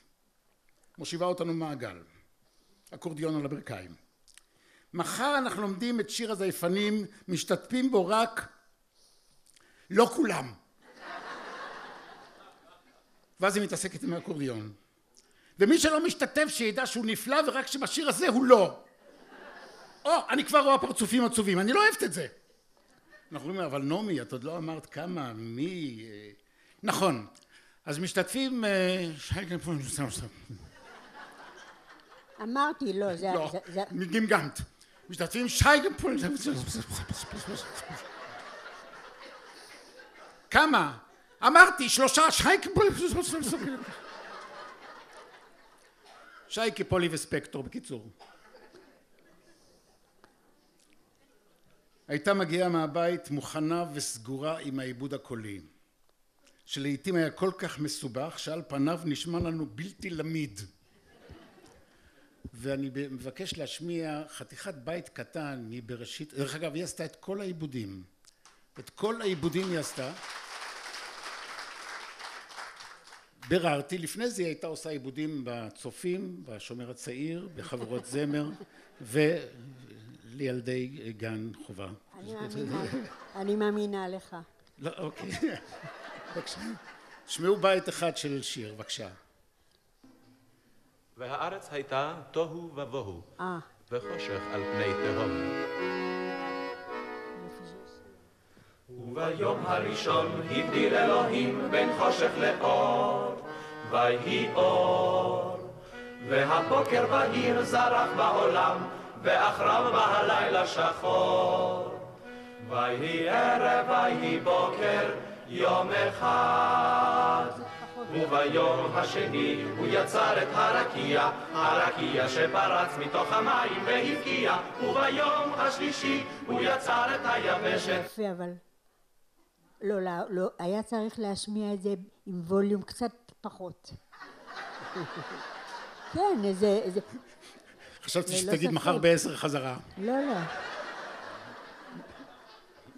החמצתי את הפנינה האחרונה האקורדיון, שלך. שמונה קולות עיבוד. סשה דרך אגב שמע את זה, אמר אני חייב לשמוע את זה שוב להבין מה אני שמעתי. שמונה קולות והיא עם הבאסים של האקורדיון מקשיבה ובאמצע היא אומרת "ש, רגע מה שרת? איך היא מצליחה מכל שמונה הקולות והיא צדקה לא משנה. אה, אוקיי. זה קצר אני לא אמשיך הרבה. הייתה מגיעה מהבית מוכנה קומפלט להעמדת שיר סגורה עליו ברזולוציה של תנועות אישונים משהו פשוט לא יאומן. עם דף מסומן בקווים ועיגולים היא הייתה מתרוצצת בינינו ממקמת אותנו מזיזה מניעה מסבירה כל דבר בסבלנות. שתבינו מה אתם עושים. תענוג צרוף שנה בלתי נשכחת. את התקליט לא הקלטנו באולפן. הקלטנו אותו באולם בית הרופא על הבמה. זה היה אנחנו מול מיקרופון אחד. פה היה קלקרים שהבאנו מהבית מאחורי הקלקרים הייתה תזמורת של ארבעה אנשים ונעמי עמדה בין הקלקרים ובינינו ומנצחת עלינו מפה ככה הקלטנו את התקליט של התרנגולים לא באולפן ובאמת מיקרופון אחד.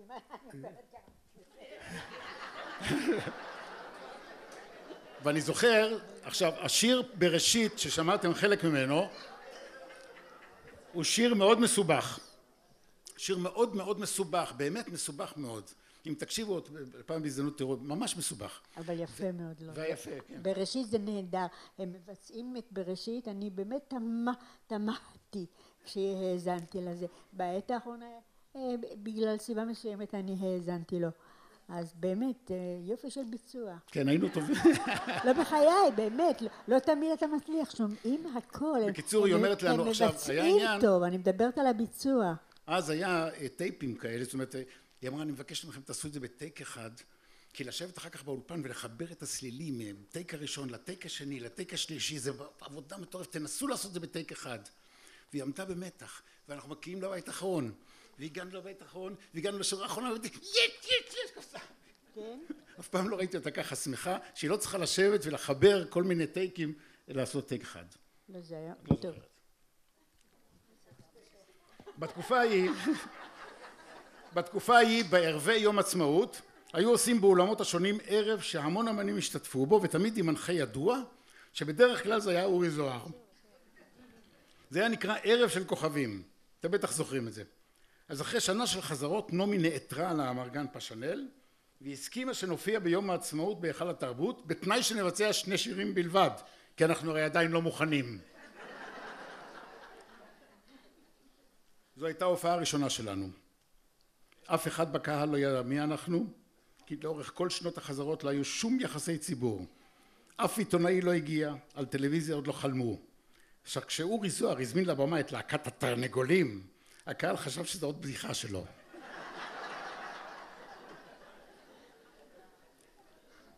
את האמת, אני לעולם לא אשכח את התגובה של הקהל, את השמחה שלנו, ובעיקר את ההתרגשות של נעמי שניסתה ללא הצלחה לשדר עסקים כרגיל.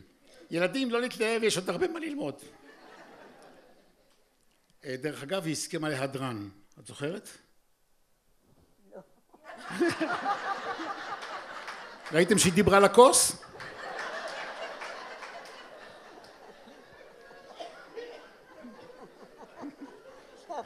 דיברת לכוס ושמעו. לא, זה סטארט-אפ. לכי על זה בגדול. בתשעים עבדתי כמו שיש הלוחש לסוסים, יש שם מדבר לכוסות.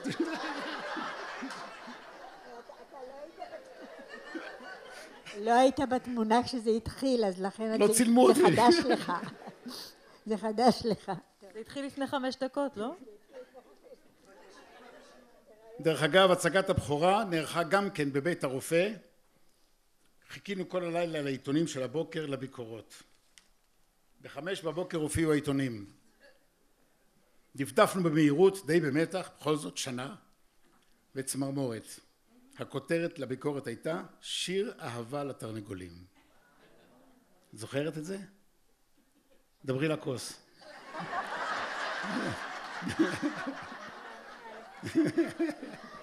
היא אומרת, אני מאמינה לך. מה שמעו, היא דיברה, לא?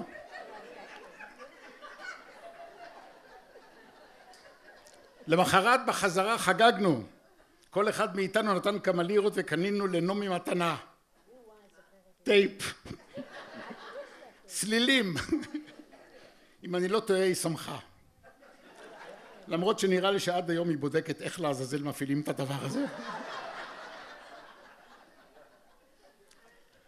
הייתי בהרבה, בכמה אירועים ששרו את כל השירים של הפלמ"ח, נעמי ישבה בשורה הראשונה, ושרו לה אין אפשר, שמן אפשר, כל, השירים של פעם.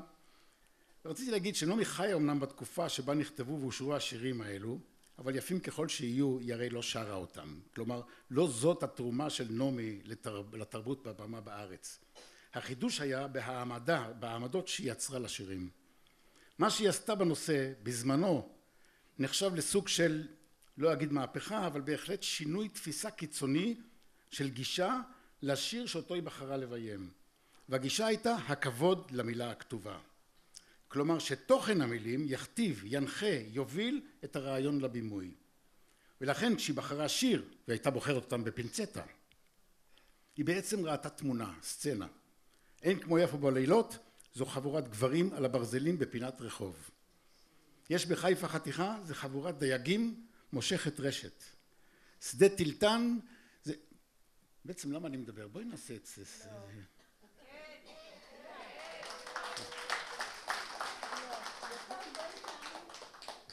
יותם.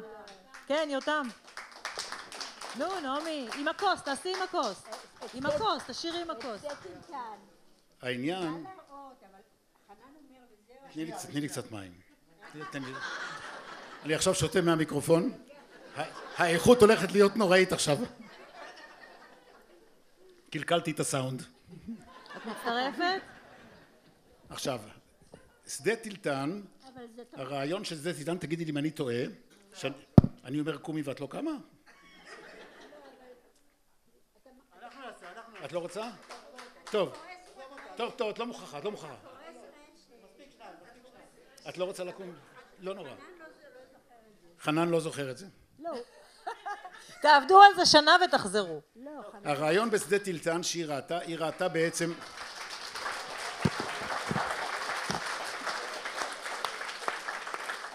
סדרי את החולצה, סדרי את החולצה. ראיתי אותך במפגש האחרון, לא זכרת, אז לכן אני אומרת. נו, אז בואי ת...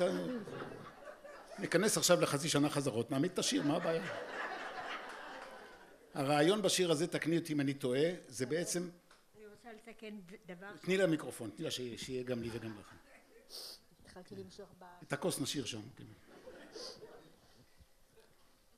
אני רוצה לתקן דבר מה שאמרת, אבל אני לא יודעת אם יש לזה, אם כדאי. טוב, לא חשוב. באיזה נושא אני אגיד לך? ש- שאמרת שאני, שאמרת לגבי, איך לומר, המוקד החשוב ביותר שעומד לנגד עינינו כשאנחנו מתחילים לעבוד על שיר. אז זהו, לא תמיד זה רק המילה, לפעמים זה גם המנ... המוזיקה, המלודיה. אוקיי. אפשר לומר ש... טוב, די, לא, לא חשוב. טוב, די, לא, לא, לא, לא, לא אבל נתחיל. אמרת. לא נתחיל עכשיו עם זה, לא, זה, יש, אפ- לא, לא מספיק, ל, אין כאן להסתפק במשפט אחד, אז לכן לא כדאי, לא אמרנו כלום. לא אמרנו כלום, בסדר גמור. על כל פנים, שדה טילטן, שדה טילטן, הרעיון של. זה הוא בעצם שיבולים שזזות ברוח, נכון? You're right, זה לא בדיוק זה, אבל זה זה. כלומר, לא, סליחה. לא. כולנו טילטן. לא, זה שדה, זה שדה, זה שדה, אבל מה, טוב, לא, זה שיר של אדם אחד בודד שהוא שר אליה, כן? ואנחנו, אחד, חלק מהשירים שלנו אה, הוא באמת של, של אדם אחד, הוא שר לה, כן, אם תרצי תפוח זהב, אה, שדה טילטן, יש הרבה שירים, האם אמרו לך פעם, יש הרבה שירים של, של אדם אחד ש, ש, ש, ששר. לפעמים המנגינה היא בעצם הדופק, לא, לא המשמעות, אלא המילה, המנגינה היא הדופק. כלומר, לפעמים זה שיר, זה פזמון שמעוצב אה, אה, במ- במחו- במחול איזשהו, מחולית נקרא לזה. ולפעמים אה, הפזמון מעוצב באמת במשהו בהקשר לתוכן שלו. אז זה נכון, כלומר לא, זה לא אילוסטרציה של מה, של מה שאנחנו, של מה שאנחנו דוברים. אני רוצה להגיד לך שבשש סוגרים. אז אני אגיד, אולי תבצעו את בשדה טילטן? אז עכשיו, אני, אנ- אנוכי בולעת, אנוכי בולעת, מה שהוא אמר. אנשים שאלו מה לארוחת בוקר. עכשיו.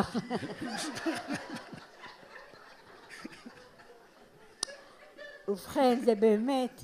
בואי נעשה את זה. לא, אני רוצה לומר. זה באמת בודדי... זה... טוב, השוונג שלי, השוונג, השוונג שלי נהרס, הוכרע, אבל אין דבר. טוב, אני- בגלל זה שצחקתם, שצחקתם, אני לא אמשיך ולא אסביר לכם מספיק. לא, לא, לא, תסביר. אבל רק תשאירי את בשדה טילטן. טוב, לא, עכשיו, אה, אה, לא אם- הקהל יכול לשיר איתנו, כי. אנחנו לא זוכרים את המילים. לא מצאתיך, לא, לא, לא מצאתיך. עכשיו, הפרינציפ זה, הפרינציפ זה שזה כן, זה שדה שיבולים, כן, זה בית ראשון.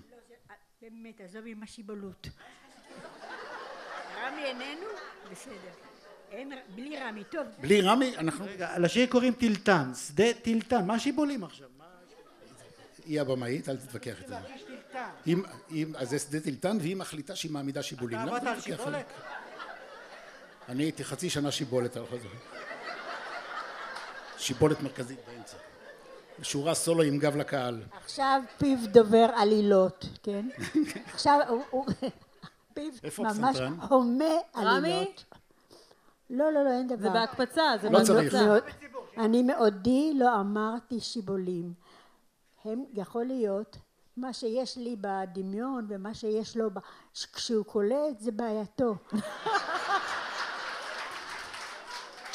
הוא יכול, הוא יכול לקלוע בול, אבל אני התכוונתי באמת למשב רוח מסוים, למזג אוויר מסוים. אהה. רגע, אבל הפיל לא אמר את המילה שיבולת. לא, זה הבן שלך אמר, לא אני. אז מה אתם אומרים? אנחנו שרים. טילטן? שדה טילטן, שלוש. איפה הפסנתרן? אין פסנתרן. אתם תשאירו איתנו. לא מצאתיך, שלוש, ו... לא מצאתיך לראשונה בקרון רכבת. היה לי ניסע למרחקים. לא מצאתיך בקרוסל הסובבת. היה ליבי מכור למשחקים. צד שני? לא מצאתיך להרצות ברסטורבת. היה לגלי המה להישען ולובין ומדבר רחוק אוהבת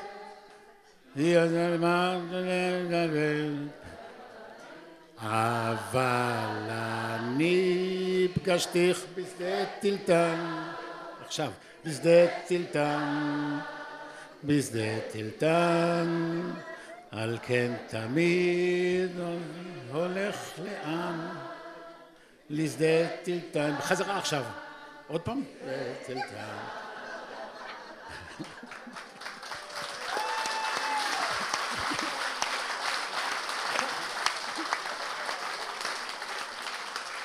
דוגמה אחת קטנה, כן. לא, לא אכפת לי, לא אכפת לי, אני גם אה, לא, לא אמשיך להסביר.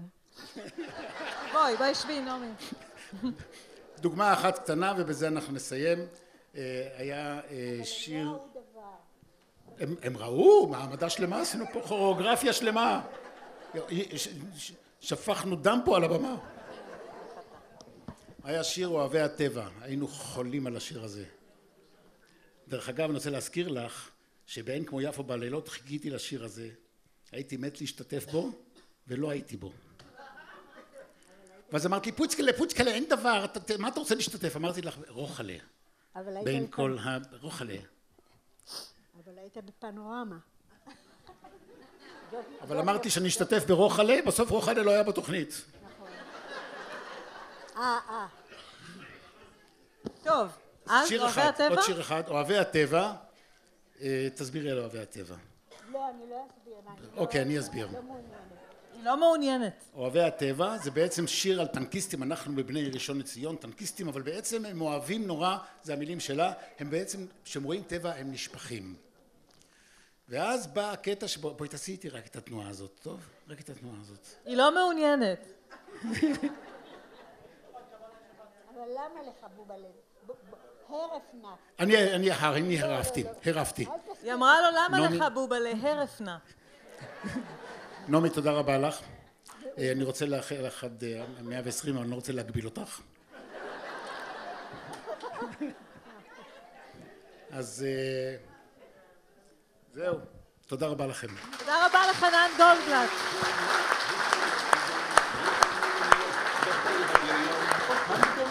הטבע מוכר, אוויר הפסגות, העשב הרע, מראה רמים בשעת הבציר, וריח הזבל ניחוח הציר.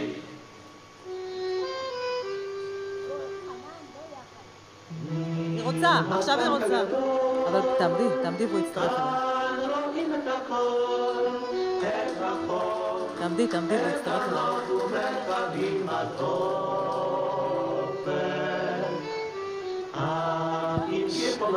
נצל את ההזדמנות לפני שהיא מתחרטת. קראת לי. תשתלבו, תשתלבו, תשתלבו.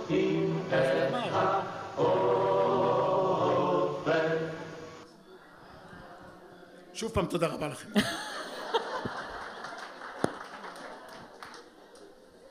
הרף נא. בכוונה אמרתי לו הערב נא. אני בכוונה צעצעתי את האמירה. צעצעת את האמירה. כן. טוב, אז בזמן שנעמי מעט נחה מאיתנו, אני כבר אה, רוצה לספר לכם שאנחנו יוצאים לפגרה קצרה בחודש אוגוסט, קבלות השבת שלנו יוצאות לפגרה קצרה בחודש אוגוסט, אבל אנחנו חוזרים ב-1 בספטמבר, קבלת שבת למולי שפירא. יופי, מאוד מאוד. מה? ודאי, יהיה מרתק, אני בטוחה. אני גם חושבת שיהיה מרתק מאוד עם מולי שפירא, אבל לפני כן אני רוצה לחזור אלייך, נעמי, ברשותך, ואני רוצה לשאול אותך. טוב. נו, יפתי. לי היא אמרה יפתי, לך היא לא אמרה את זה. לך היא אמרה הרף נא. לא, אבל אני, אני, אני התחכמתי. את התחכמת, לא התכוונת לפגוע, נכון? אני רוצה לשאול אותך, נעמי, מאין מגיעים הרעיונות?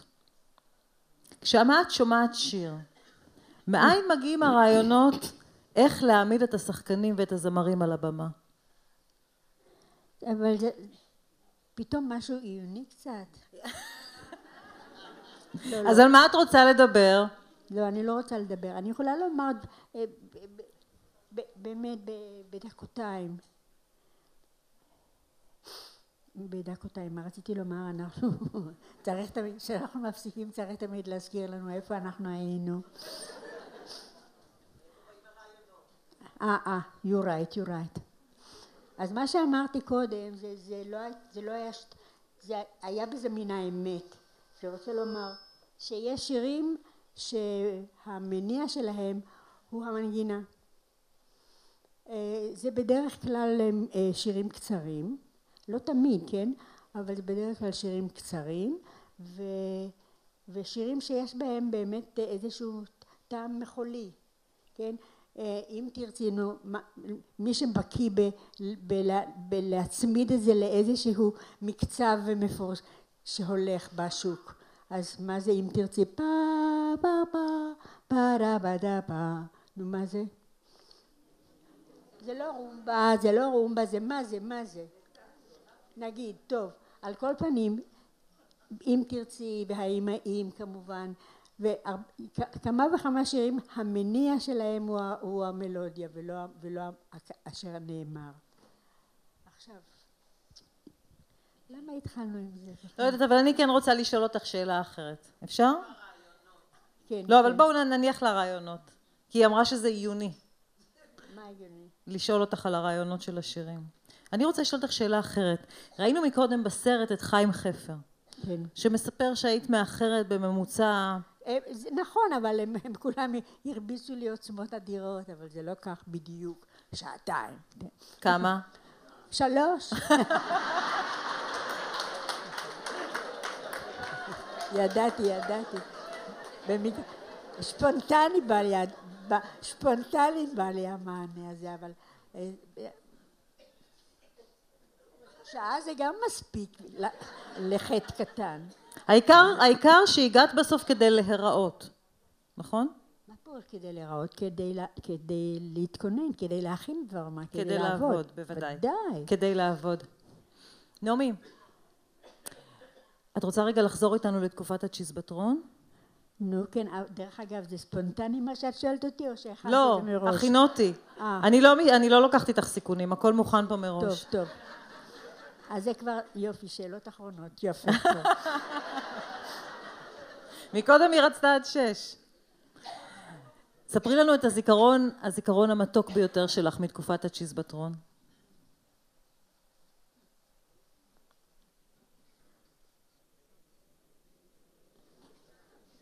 לא עולה בדעתי כרגע, אם את רוצה סיפור קטן, סיפורים אני יכולה לספר. סיפור אם קטן. את רוצה סיפור קטן ובזה תפתרי אותי ו- כן, כן. ותשחררי אני אותי. אני אשחרר אותך. יפה. אני מתנצלת שהעסקתי אותך כל הבוקר. לא, לא, לא, אין דבר, אני אספר להם סיפור קטן, זה לא רע. היינו פעם, זה היה בסוף, כבר עם שוך הקרבות, שבכל מיני אה, עמדות בארץ השאירו חיל מצב נקרא לזה. אה, אנחנו היינו של הפלמ"ח, אבל לא דווקא מהפלמ"ח, אנחנו גם הופענו בפני אה, כמובן כל, כל צבא ישראל. אז היינו באותו, באותה, באותו פעם, באותה פעם היינו בקאוקב אל הווא, זה, זה, נו בבקשה, שמישהו יאמר איזה, איזה, רש, איזה שלשלת הרים זאת. כן נכון, זה כוכב הרוחות נכון, אבל שלשלת, אה, איזה שלשלת הרים, איך, איך? טוב, לא חשוב. כן חשוב, אבל אני שכחתי עכשיו. טוב, זה, בית, זה בדיוק, זה, זהו, זה, אם יודעים איפה זה, זה, זה, זה לא אברסטים, כן, אבל זה בכל זאת הערים שמקיפים את הכנרת מצד מערב, כן, כבר בדרכנו בית שאנה, כן, זהו, אז אנחנו היינו שם, ב, אנחנו על צ'יזבטרון, זו הייתה שעת צהריים, יום חמים ביותר, כפי, לא, לא כפי שעמק הירדן מראה לנו את, את כוחותיו האדירים עכשיו, אבל זה היה מספיק חם, זבובים, כמו שהם אומרים המצחיקים. אנחנו איזה, איזה 12, 10, 12 איש, הם חיל המצב, 10, 12 איש, יושבים על האדמה לפנינו והם שמש, כן, אנחנו, השמש לעינינו, הם צריך לתת להם תנאים יפים יותר, אז השמש בעורף שלהם ואנחנו שרים, ושייקה ואני אה, שרים את זה, זה היה אה, הפוטה והירח. שרנו פרה פרה פיטי פיטי פיטי הוא ואני, אני והוא וזבובים מלפנים ומאחור, כן? כל הזמן זבובים, כן, כן, זבובים, כן. אז, אז, אז, פתאום אה, נדם קולו של האקורדיאון. מה פירוש?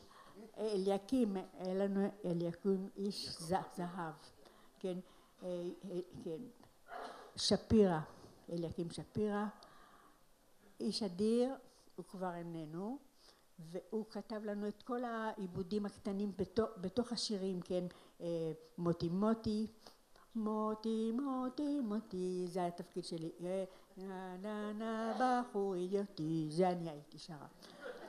ואוהלה שרה מוטי מוטי מוטי זה לא סתם בחור אידיוטי. ורבקלדה שרה מוטי מוטי מוטי. עכשיו אבל זה, זה על אליקום בקיצור אליקום מנגן אקורדיון אמרנו אחזנו איפה ש... במקום שאקורדיון נדם ואנחנו מסתכלים לאחור כלומר אי אפשר להמשיך לשיר. אז אליקום מאחורינו והוא ככה ידיו שעונות על האקורדיון ככה. הוא אומר ככה ימין יותר עד שלא תפסיקו לגרש את ה... אני יש לי רק שתי, שתי זרועות אחת לימין ואחת לשמאל כן ואין לי, אין לי זרוע רזרבית ואם אתם אה, לא מגרשים את הזבוב אם אתם ממשיכים לגרש את, אה, את אה, הזבובים סביבכם אני לא ממשיך לנגן. אז זה היה, זה דבר שהיה, היום היה. אז אמר, התווכחנו לא, כן, לא, כן, ודאי שהוא זוכה בסוף, אין ברירה קיבלנו את האולטימטום עמדנו עם זרועות ככה ושרנו ככה. מוטי מוטי מוטי זהו וזה הסיפור נעמי פולני! תישארי, תישארי על הבמה.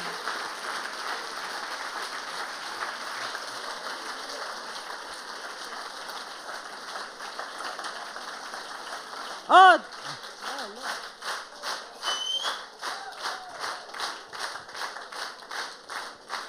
אמרנו סיפור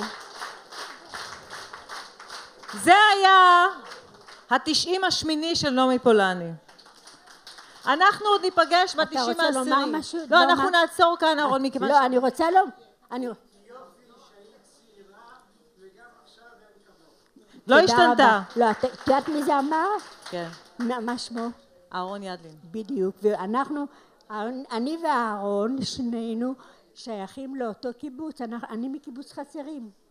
הייתי, כן ממש, אני, החבר'ה שלי ה- ה- הקימו את אה, חצרים. טוב, זה בפעם הבאה אני אספר לכם איך זה, כן. אבל, אבל הוא עדיין בחצרים. שלום לך אהרון. תודה רבה לאהרון ידלין. שבי, שבי. תודה רבה לנילי שחור. עוד, עוד.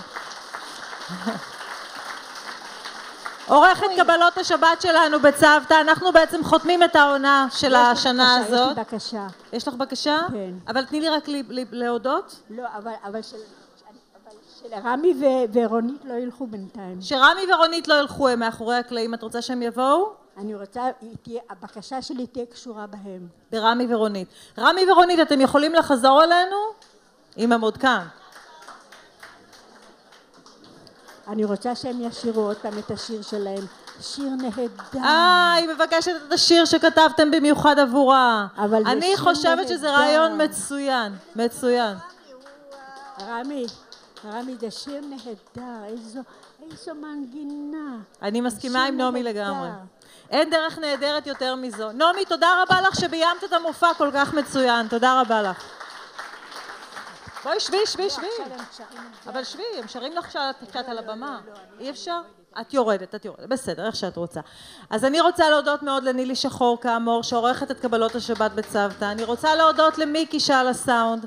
אני רוצה להודות למועדון צוותא, שמקפיד לקיים את האירועים הנפלאים הללו, את קבלות השבת. כאמור, אנחנו חוזרים בראשון בספטמבר עם קבלת שבת שמוקדשת למולי שפירא, ואנחנו ניפרד עם השיר שכתבו רמי הראל וחמוטל בן זאב, הביצוע של רונית אופיר, במיוחד עבור נעמי הפולני היקרה, שמחר, לא תאמינו, אי אפשר להאמין, נכון?